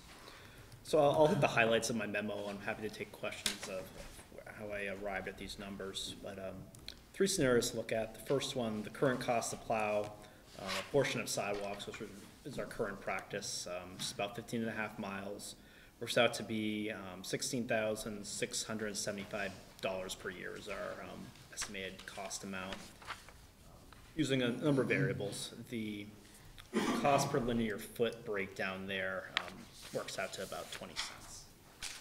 So the cost to plow all sidewalks, so adding additional fourteen point one miles, running a second sidewalk plow would cost about additional seventeen thousand, just over seventeen thousand dollars each year on, on the operational side. Um, Since the personnel costs are already budgeted, the added costs associated with the enhanced level of service would be capital costs and operation of, of the second sidewalk plow. We have, um, within the budget, a part-time public works, um, employee who most likely be running this plow. Um, For numbers wise, I blended, I blended some rates and, cause position is open right now, full-time person could end up running that at some point, but, um, that cost variance isn't very high. So if, if the board were to move forward with this option and decide next winter you wanna run a second sidewalk plow, um, you essentially would need to add about forty-three thousand dollars to the FY twenty-one budget. Um, that, that covers mainly the capital cost for a lease purchase agreement for the second plow in, in that short term and the operating expenses there. So this bottom line number to run both plows, plow all the sidewalks would be, um, just under sixty-three thousand dollars per year. And that works out to about forty cents per linear foot, or just over two thousand dollars per mile of sidewalk. Then the, the final option we've discussed is the fee-for-service model. And, and Bruce can jump in here as well. The, the town's about a critical mass of sidewalk mileage when a, when a second plow is gonna be uh, necessary, um, probably sooner rather than later. Public Works can manage a single plow as long as needed, but as the mileage increases, the amount of time it takes a single plow to complete a route increases as well. So part of the ongoing discussion will be the, the level of service, um, piece here.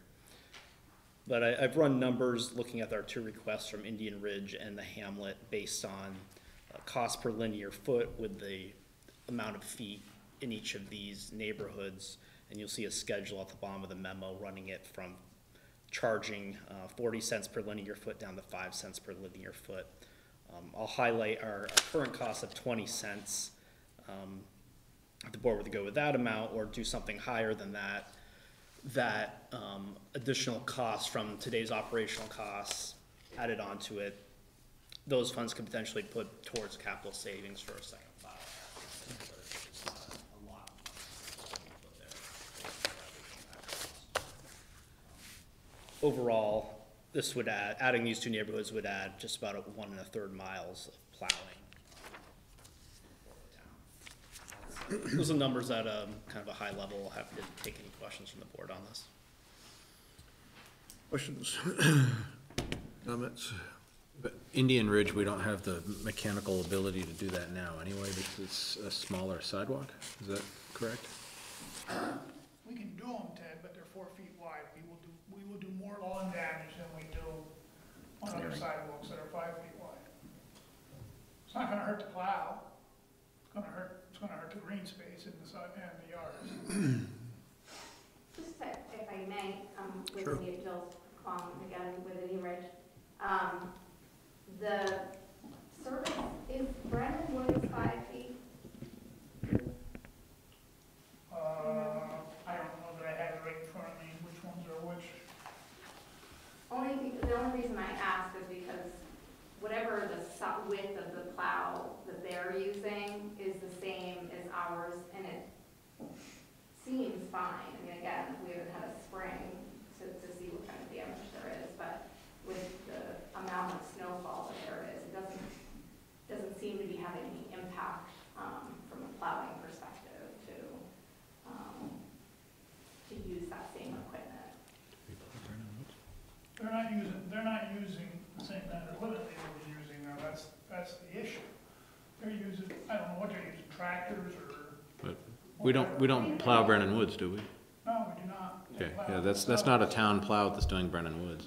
Yeah, I just was wondering if it was four feet, I just, uh, I was wondering if it was four feet there. I, I don't, I don't. I think they're using some kind of bobcat, but I don't know the width of the bobcat either. Our plow, our plows, our plow is five feet wide, so if the sidewalk's four feet wide, we're gonna be off the sidewalk, six inches on either side. And That's not a problem uh, it- when the, everything's frozen up, but the first snowfall in the fall and the last one in the spring, that's when you get the most damage.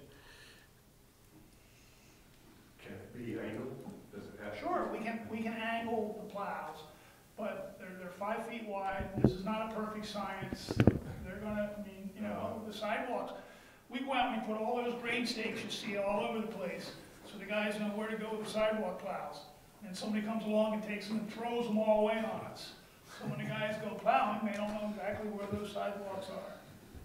So it's just not, it's not the same as a curved road or a road, it's this nice, big, defined So what, what he's saying is that even if we had a five-foot plow and a five-foot sidewalk, we're still gonna do some, uh, lawn damage. Just part of the game. And I don't know if it makes sense or if I'm just kind of throwing this out there for, for no reason, but is it possible to reach an agreement that, hey, we understand, you know, we, we, the community of Indian Ridge and the town of Williston, we understand that, you know, because the, the sidewalks are this size, there, there could be some reseeding that's done in the spring and that's, that's the cost of doing business or, uh, I mean, that, that's what we're talking about in terms of damage, right? Like a little bit of grass damage. It's already our policy, just to let the select board know, states right in there, we don't go and do, we won't repair plow damage. But we do. So if you want, to go by the policy, and tell me that we don't have to go repair plow damage anymore, we're, we're more than accepting, I we would do that, but that's not what's been going on. But per- I'm, I'm just wondering if perhaps in this situation, because our sidewalks are known to be, you know, well below the, the size of the, um, town's plowing equipment, whether or not we as the representatives can, obviously, if our community agreed that, yeah, we'll, we'll take care, of, we'll be responsible for any reseeding in the spring that occurs so that that issue is not um, one that the town would have to go and, and do cleanup in the spring, at least in our community.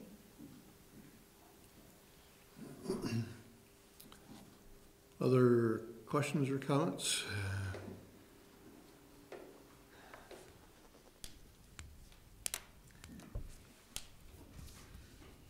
And it's important that we make a decision tonight. uh, Yes, it whether is. it's going to affect the budget or not. Public Works side, we're perfectly, we're perfectly fine with plowing any sidewalk you tell us to plow, we'll, we'll figure it out. But, uh, I don't, four foot is something I've always brought up, that, you know, it's, it's more damage is all. We'll certainly figure it out. When we go to snow blowers, all bets are off anyway. So, Wait, wait, say that again, I'm sorry. we go to the snow blowers, you know, we can't angle snow blowers or anything Okay, else. They're yeah. five feet wide. They're gonna do a five-foot swath Yeah. regardless of what we try to do with them. Okay, This gentleman's right, yeah, we can angle, we can angle a straight plow, we can't angle a V plow, V plow's already angled, and that's the plow we plow with ninety percent of the time. That plow's only fifty-two inches wide. When we go to the straight plows or the, or the snow blowers, we're in a whole different ballgame. So I'll start out with just a couple thoughts. One is I'm hesitant to increase the budget, but I also recognize that we are looking at a new plow sometime in the near future, probably no matter what, because we're growing. And um, our, um, our what, our um, core area is getting more dense, and I just assume that we're gonna need to be doing, you know, more plowing in that area. My concern, uh, the, the part I'm uneasy with, more than the cost, is, is the concept of who's in, who's out. And the, kind of almost the annual request coming in, I just don't know if that's the best way to decide who's in, who's out. I'm also concerned with the having to repair afterwards. If you've got a policy right now that's going that we're repairing, and even if people are opting out, I am worried about how that's gonna play Well, out. The policy is that we don't repair. I know, but It's just the if goodness I of just heard you correctly, you're saying, as a matter of fact, you actually do. that kind-hearted Public Works Department. Yeah. We have uh, ever since I, before I got here, Joe, it's always happened. That, that's a a concern for me moving And- forward. More, more than some of the other stuff, actually. You know, I think the- repair should be similar to, you know, plowing the road is, you know, just, when the plow goes by, whether I like it or not, snow is gonna end up in my driveway, and I'm gonna have to shovel it. And if your neighborhood is getting plowed by the town, and dirt gets pushed out of the way because of how the, then you're just gonna be out there in the spring, pushing dirt around and reseeding. Um, I, in terms of what's specifically before the board now, my, my, I don't have a firm decision, uh, hundred percent, but I, I am leaning towards saying that we should plow Indian Ridge because of the proximity to the school. Um, I think that makes sense. Um, the Hamlet, um, on the fence on, and I, I'm not sure I would do that, um, make it so that there is a winner and a loser, but that's, um, because I think the, the factors are different for the Hamlet than they are for Indian Ridge. Um,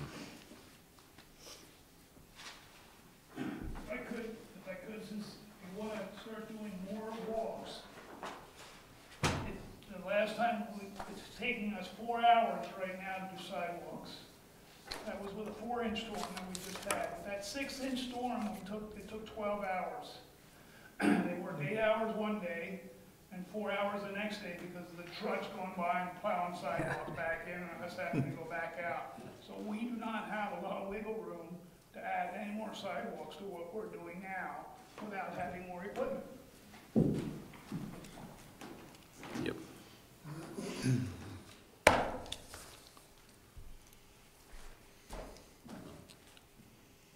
So last week, we had a suggestion, I think by Ted, to add um, something to the town meeting warning to discuss the issue, uh, which would be perhaps more than just one uh, neighborhood, but uh, plowing in general or plowing all the town sidewalks. I still would like that. It doesn't really relieve us of the responsibility we have tonight. Um, But it does, but I would like to hear from the entire town, such as we can in a town meeting, um, what, what people, what, I'm sorry, what people are thinking, because it's, you know, it's one of these issues where you're talking about an increase in seventeen thousand dollars in operating, as I understood it, which is not the entire increase to the budget, because we'd have to increase our equipment uh, expenditures as well. Um, So, you know, in, in a budget that is now as big as Williston's is now, that's not huge, but it's, you know, one of the reasons that we have, I'm gonna, I'm gonna brag, our, the second lowest municipal tax rate in Chittenden County is because we are old curmudgeons and stingy. Um, um, And, well, uh, most of us are old, Mr. Hilaire is, uh, not. I'm hope, I'm hopeful that's a compliment. Yeah, every day you're a little bit. Um, But, but I, I do think that it, you know, I would like to hear what the whole, you know, what, what a, a town forum would have to say about it, and a town forum that isn't dedicated just to this issue, because if it's dedicated just to this issue, you're gonna get a skewed sample. Um, a- As with any issue before the board, you know, where the room is, is f- full, or at least occupied by people who are, you know, passionate about something, but most people don't even know the issue exists, but if, if they did, they'd have an opinion. I Um, also think I would have made possibly different decisions on earlier discussions we had about expenditures we made. It's a good point, yeah. If you were gonna pull this in, and I, it, it, well, I think it's important, and I agree with Ted, and I agree with the fact that more so right now Indian Ridge needs to be. I am really loath to mess with this budget any more than we have. I just, I, I would have a big problem with that right now. Okay. So we, I we're- think we need to have some, ki- a motion to either do the plowing or reject the request. I would move to accept the request for sidewalk plowing for Indian Ridge. Is that- Is there a second to the motion? Hearing no second, then the motion dies. Is there any other motion to be made? No, I don't think it's, I would love to support you, I just can't do that on the budget.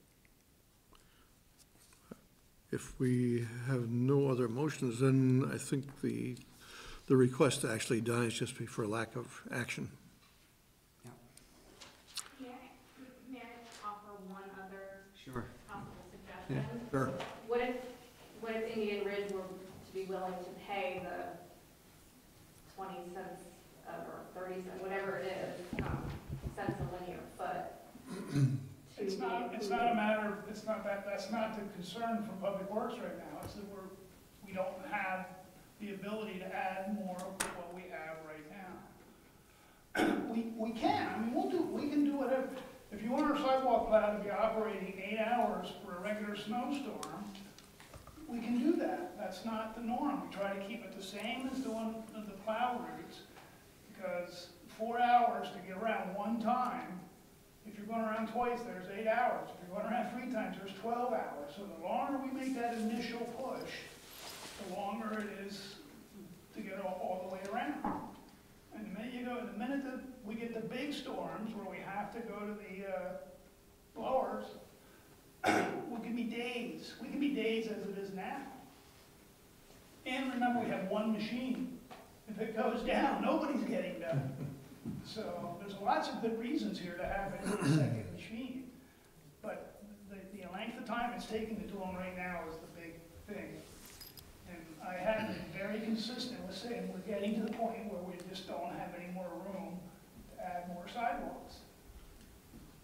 So it may be that the, in fiscal year twenty-two, if the board decides to include that in the capital budget, that might give them a little more leeway to add additional sidewalks if they so choose. That's what you're saying? machine. Yes. Oh, sure, Yeah. then, then we can, if we have another machine and we were just to keep doing the policy the way we're doing now, we'd have years of being able to, and if a machine breaks, it would take us longer to get things done, but we'd still be able to get them done. So it sounds, okay. So that would be another, another year's uh, budget, and that would consider- would consider next year. It's been in the capital right along, and, and I think it's actually in twenty twenty-two, or for at least half of it or something at this point. So can we focus a little bit on town meeting? How do we, how w- will we foster that discussion? Well, uh, Just before you get into that discussion. um, Okay. Article four draft of the draft warning, it says to discuss whether the town should maintain all public sidewalks and paved recreation paths during the winter months. Parentheses, bold, or or all caps, no vote will be taken, close parentheses. Okay. That was the addition of our legal counsel. Um, so that, that is the proposal. Um, And I think your question, though, gets more towards what would that process, that discussion look like? Is that, What will it look like? But what I, what I'd love, love to get out of that discussion is some clear direction. I realize not all town residents attend town meeting. It's usually a fairly small representative of, but representation of. But I'd like to get some clear direction about how residents feel. I mean, it could be everything from, you know, town shouldn't be doing any sidewalks, to town should be doing all sidewalks. And it would be great if I had something I mm. felt that I could advocate for, maybe a policy change.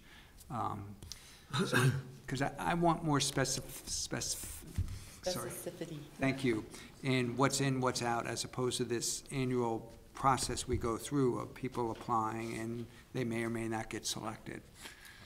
So I think we'll need to discuss that when we get to the approval of the warning and Sure. close out the conversation tonight on the water uh, Yeah.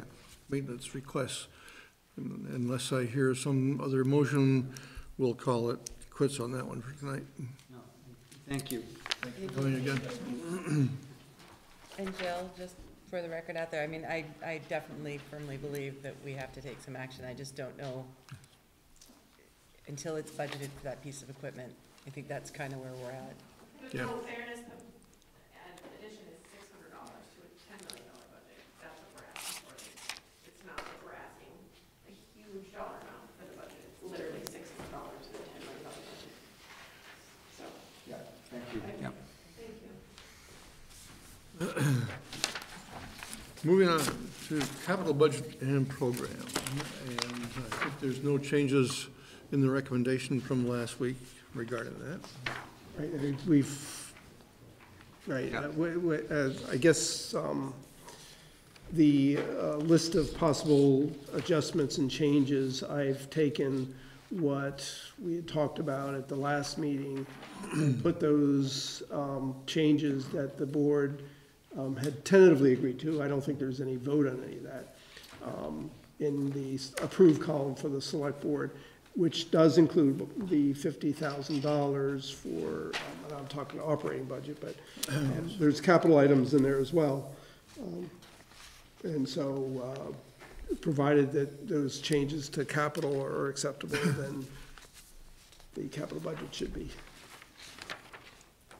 If they're acceptable, then a motion is in order to adopt the uh, capital budget and program.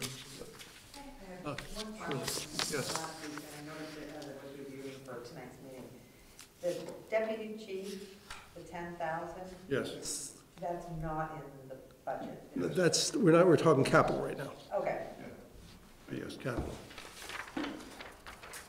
So if we're, if acceptable to, to us for the capital budget, we need a motion. I'd move to adopt the capital budget and program for fiscal year twenty twenty-one through twenty twenty-six as presented. Second. Discussion on the motion. Hearing none, all those in favor of the motion say aye.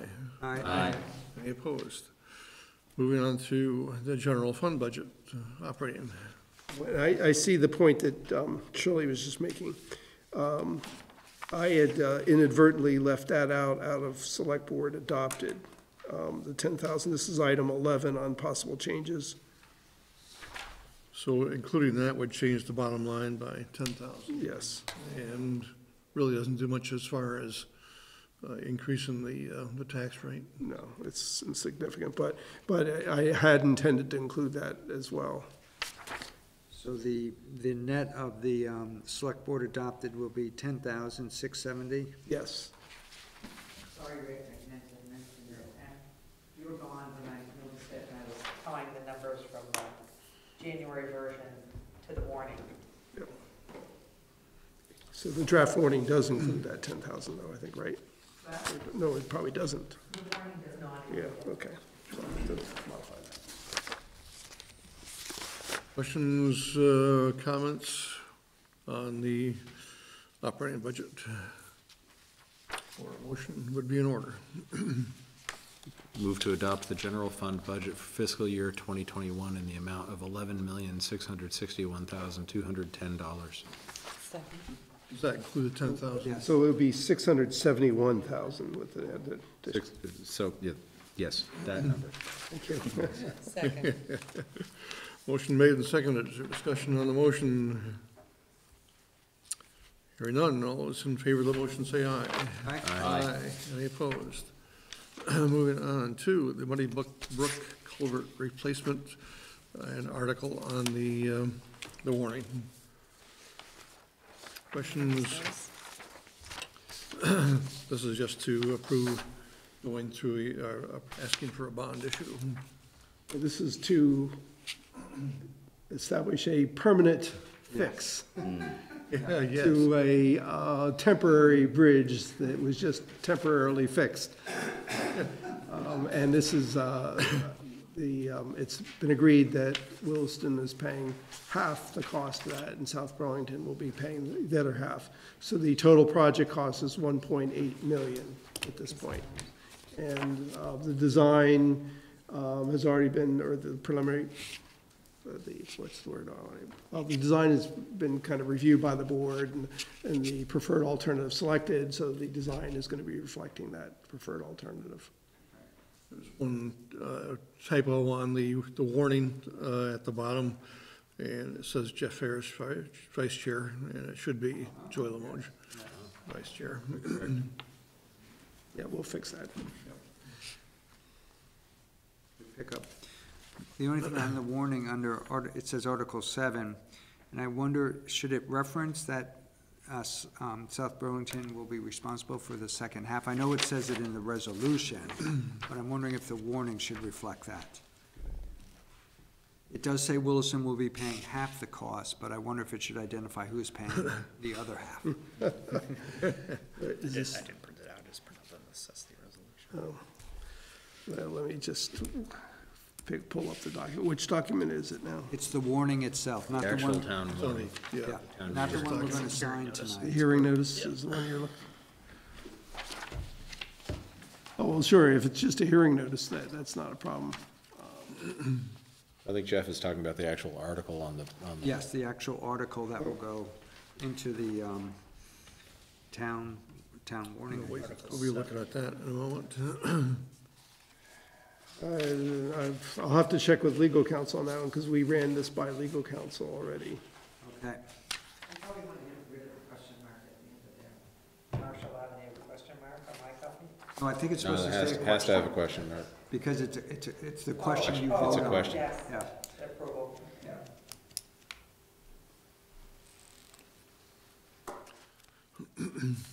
So I'm looking for a motion. Oh, To um, resolve Jeff's question, I, I, I can't say we should add it without, I don't know what, You're gonna- You're gonna muddy the already muddied waters. Yeah, maybe. But I will say that there, I, I was reading um, minutes from a town meeting hur- held very early in the history of this town where the town agreed to pay half the cost of a bridge. That was it. Didn't identify who the Oh, other. no, it didn't, and the, um, the bridge, I think, was um, uh, Van Sicklen. I think it was Oh. that bridge. And that's the early history of the town, I- and I laughed at it because I said, oh, that's interesting, half, the- what happened to the other half? But I knew, of course, I know the answer, but in that case, they didn't say who was paying the other half. I, I don't think it's a big deal, and I don't wanna hold things up, um, make everybody come in, you know, sometime later this week to sign it. Um, Well, you will anyway, we're not gonna have this ready tonight. oh, that's right, you can't, cause, uh, yes, Uh, um, We can't for some reason, but So uh, usually we, uh, you produce an- a document that explains things on, right, the informational Yes. document that goes Yes, out, we are yeah, working it on would be there. yes. yeah, and, yeah. It'll be in the hearing notice too. But isn't it?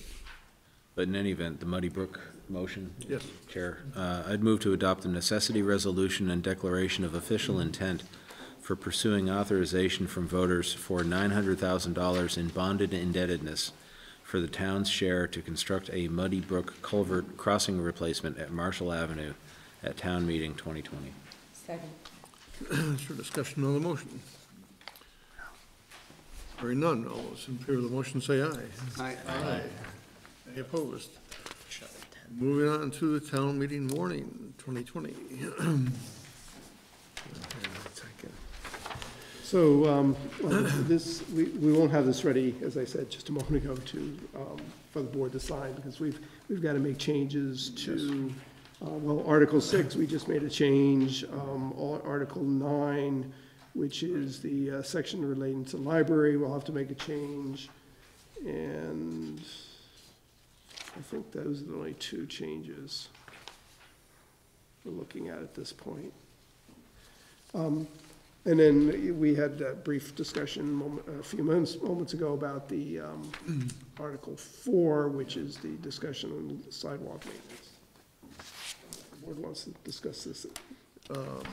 I have an idea on the sidewalk maintenance thing. It's, it- I think the article as it's written is completely fine, but the conduct of the meeting, my thought is that if we could have a um, memo and presentation that, uh, along the lines of what Eric presented, um, that would talk about uh, the global, global issue of how much, uh, uh, how much sidewalk uh, the town has, how much is being plowed now, how much that costs now, um, and then the additional cost for doing all of the sidewalks, both capital and operational, um, and possibly something, uh, maybe something on the effect of what that would do to, uh, if, if that were a part of the current budget, what that would do to the anticipated property tax rate. Um, I think That would, if that presentation were made, that would give people a basis of an understanding. Um, I'm still, I'm still thinking it's gonna be an interesting conversation, because some people are gonna be buried in the numbers, and other people are gonna be, uh, buried in the, the principle of the thing. Um, but that's, uh, that's part of, part of the town meeting. So after that presentation, then it would be just a matter of opening up the floor for comments. Mr. Lamb with a a whip and a chair.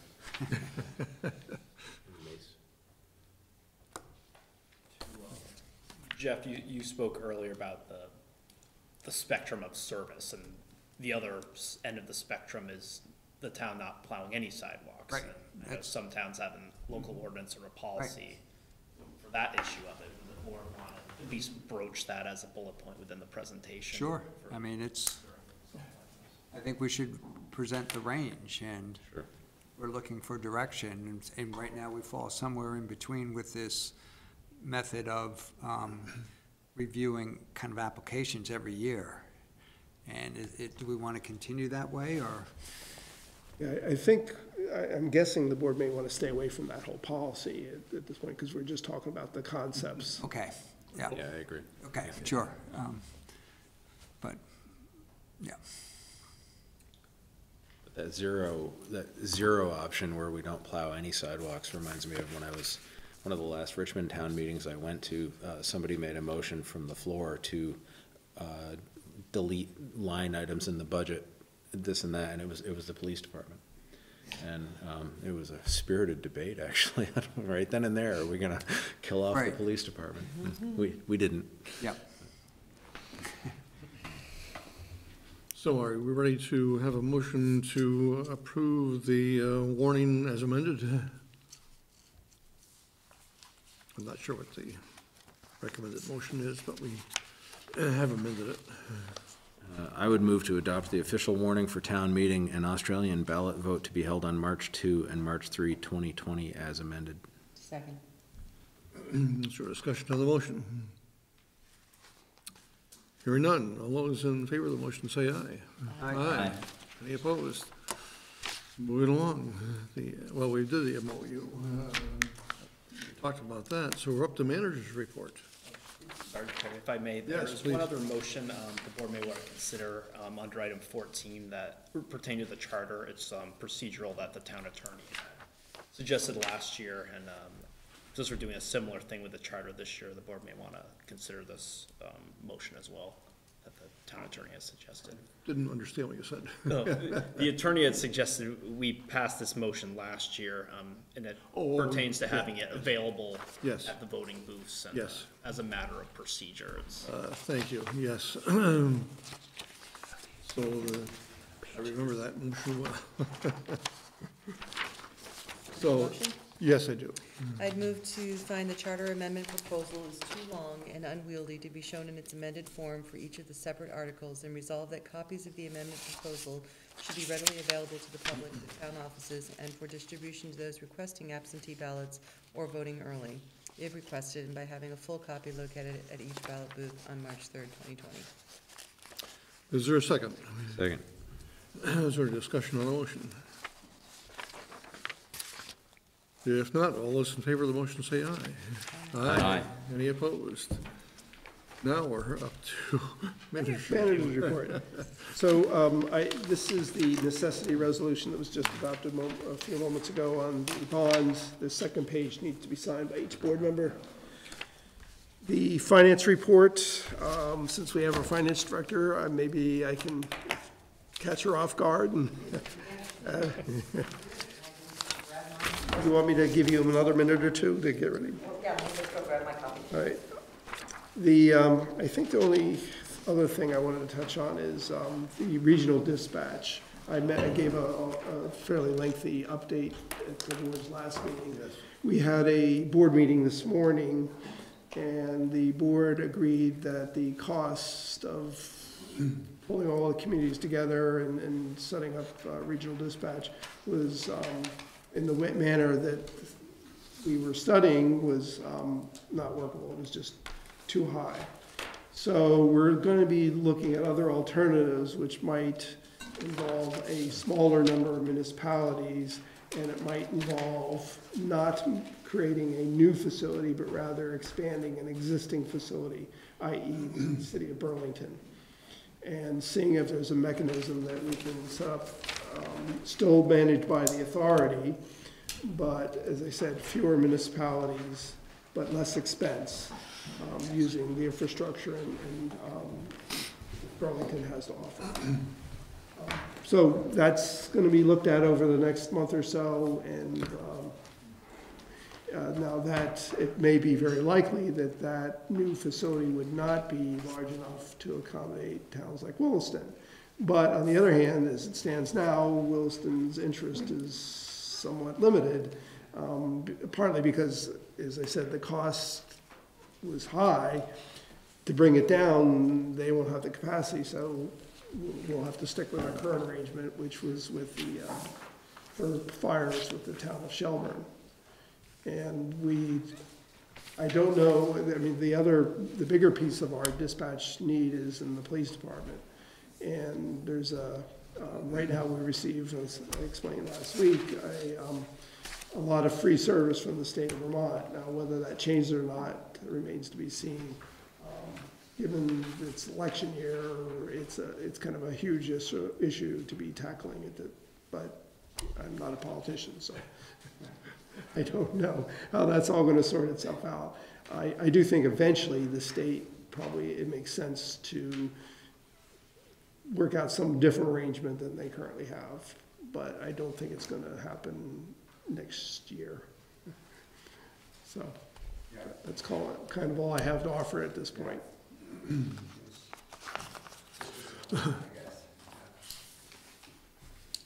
Oh, Okay. Um, Eric, did you have anything? Um, just briefly, there's an update on the health order you issued in October, uh, to the Bevins property. Um, town officer has, health officer has made a couple of visits there. Um, one of the major pieces was addressed last fall regarding the, um, the trailers in the backyard, but there, there remains some outstanding issues there and in conjunction with an outstanding zoning order, and, um, staff is working with, uh, legal counsel through, through these issues still, and we'll keep the board apprised of, of where we get to. Is there a thought about um, going further with legal uh, proceedings on this, or? Yeah, we're, we're currently, um, looking at those options with, with counsel, and we'll Well, most uh, likely be on, moving ahead. on the zoning issue, uh, a, um, a motion has been filed, um, because, uh, the, there's been no appearance, um, on the zoning matter from the other side, so, um, uh, but, you know, a motion in favor of, uh, uh, the town is being requested, because there's been no opposition. So at least that's on the zoning side of things. Yes. That's an overall picture thing, that's the lesser of concerns, but we'll, we'll use whatever we have to can keep the pressure on to get changes. That, that's all I have. So, finance report. So these are the um, November year-to-date financial statements. Um, The, in the very first uh, revenue highlight, I just pointed out, even though um, the BEVs and the peak, I just wanted to um, put in dollars, the change in that value of the grand list. It's fourteen hundred dollars in all, and actually it's an increase because of um, the change to the peak property. So even though they look like big numbers in the change of the grand list and the total property tax taxes, it didn't make a huge difference. Um, Property taxes, when I look at that and I say, oh, we've already billed them for the year, why aren't we at hundred percent? We're a little under. And the reason is, um, um, for accounting purposes, we get an estimate of the state for what's going to be due to the state and to the schools. And um, in May or early June, we get the actual. And typically, so we move out of revenue and put into a liability the amount based on the state's estimate. And so when I was working on this year and looking at the year before, that estimate is always high. So towards the end of this year, I'll be probably moving some funds back into property taxes. So those will probably, as with the last couple years, be over budget in the end. Um, Some of the revenue is, looks high um, compared to where we are through November, but some of them are timing differences, like if you look at the rec um, uh, revenue, a lot of theirs has already come in from their summer programs, and what we recognize through the school year um, is a lot less. Um, I'm just trying to pick out some of the big ones. Um, Highway revenue is over budget. Again, I, I looked at it compared to last year, and it's all the quarry fees for the SD Ireland, and um, there's usually a lot in the fall, summer, fall, and then it'll slide off, and not quite as much in the spring when construction starts again. Um, let's see, expenditure highlights. Um, Highway is, is slightly over, um, their budget. They're at ninety-seven percent of budget, but they're, um, have expended most of their retreatment budget already for the year. Um, Let's see. Um, I think the only other real big expenditure one is the um, town clerk and the treasurer, since those, those positions were budgeted to be split for the whole year, but really it's not gonna happen till March. So the clerk looks like she's over budget all year, but it's because all the salaries year-to-date are all going to the clerk because we still have the clerk treasurer, and then they will be split in March. Um, So the budget is probably too low for the clerk and, and too high for the new treasurer department. So I didn't have any other significant points unless you have questions of me. Any questions for Shirley? Good, thank you very much. One other item, I just, uh, or maybe one or two others. Um, Just a reminder, February 10th, I think it is, is the um, date for the uh, legislative breakfast. Um, Will be, um, I- if we haven't sent out, have emails gone out yet? Yep, um, if, I'll follow up, uh, the board has the flyer in their packet, if you could, if you could RSVP to me by the fifth, uh, getting a head count for food. That's always important, to know how many are coming. I think I did Yeah, that. you did, Terry. I did, Okay, all right, excellent. pretty sure. Yeah, I said as Either way, long as my I'll- flight's on time, I'll be there. We'll need, um, Ted has, in the past, has served as the moderator. He will not be there, unfortunately. So we will need a moderator to do that. It could be any, anyone. Um, but it probably shouldn't be Terry. Up, no.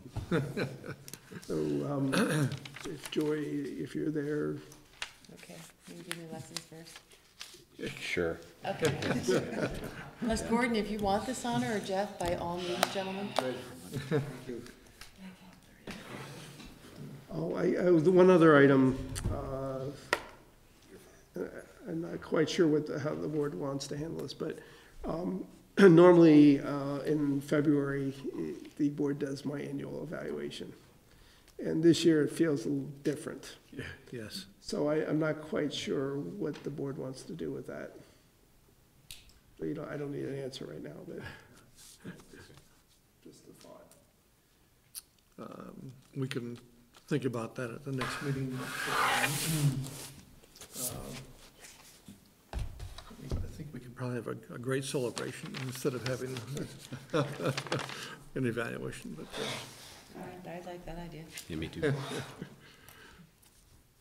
that it? Okay, yeah, that's all I had for this evening.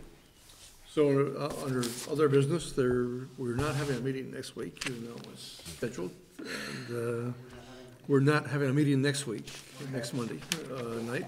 So our next meeting will be the first uh, week in February.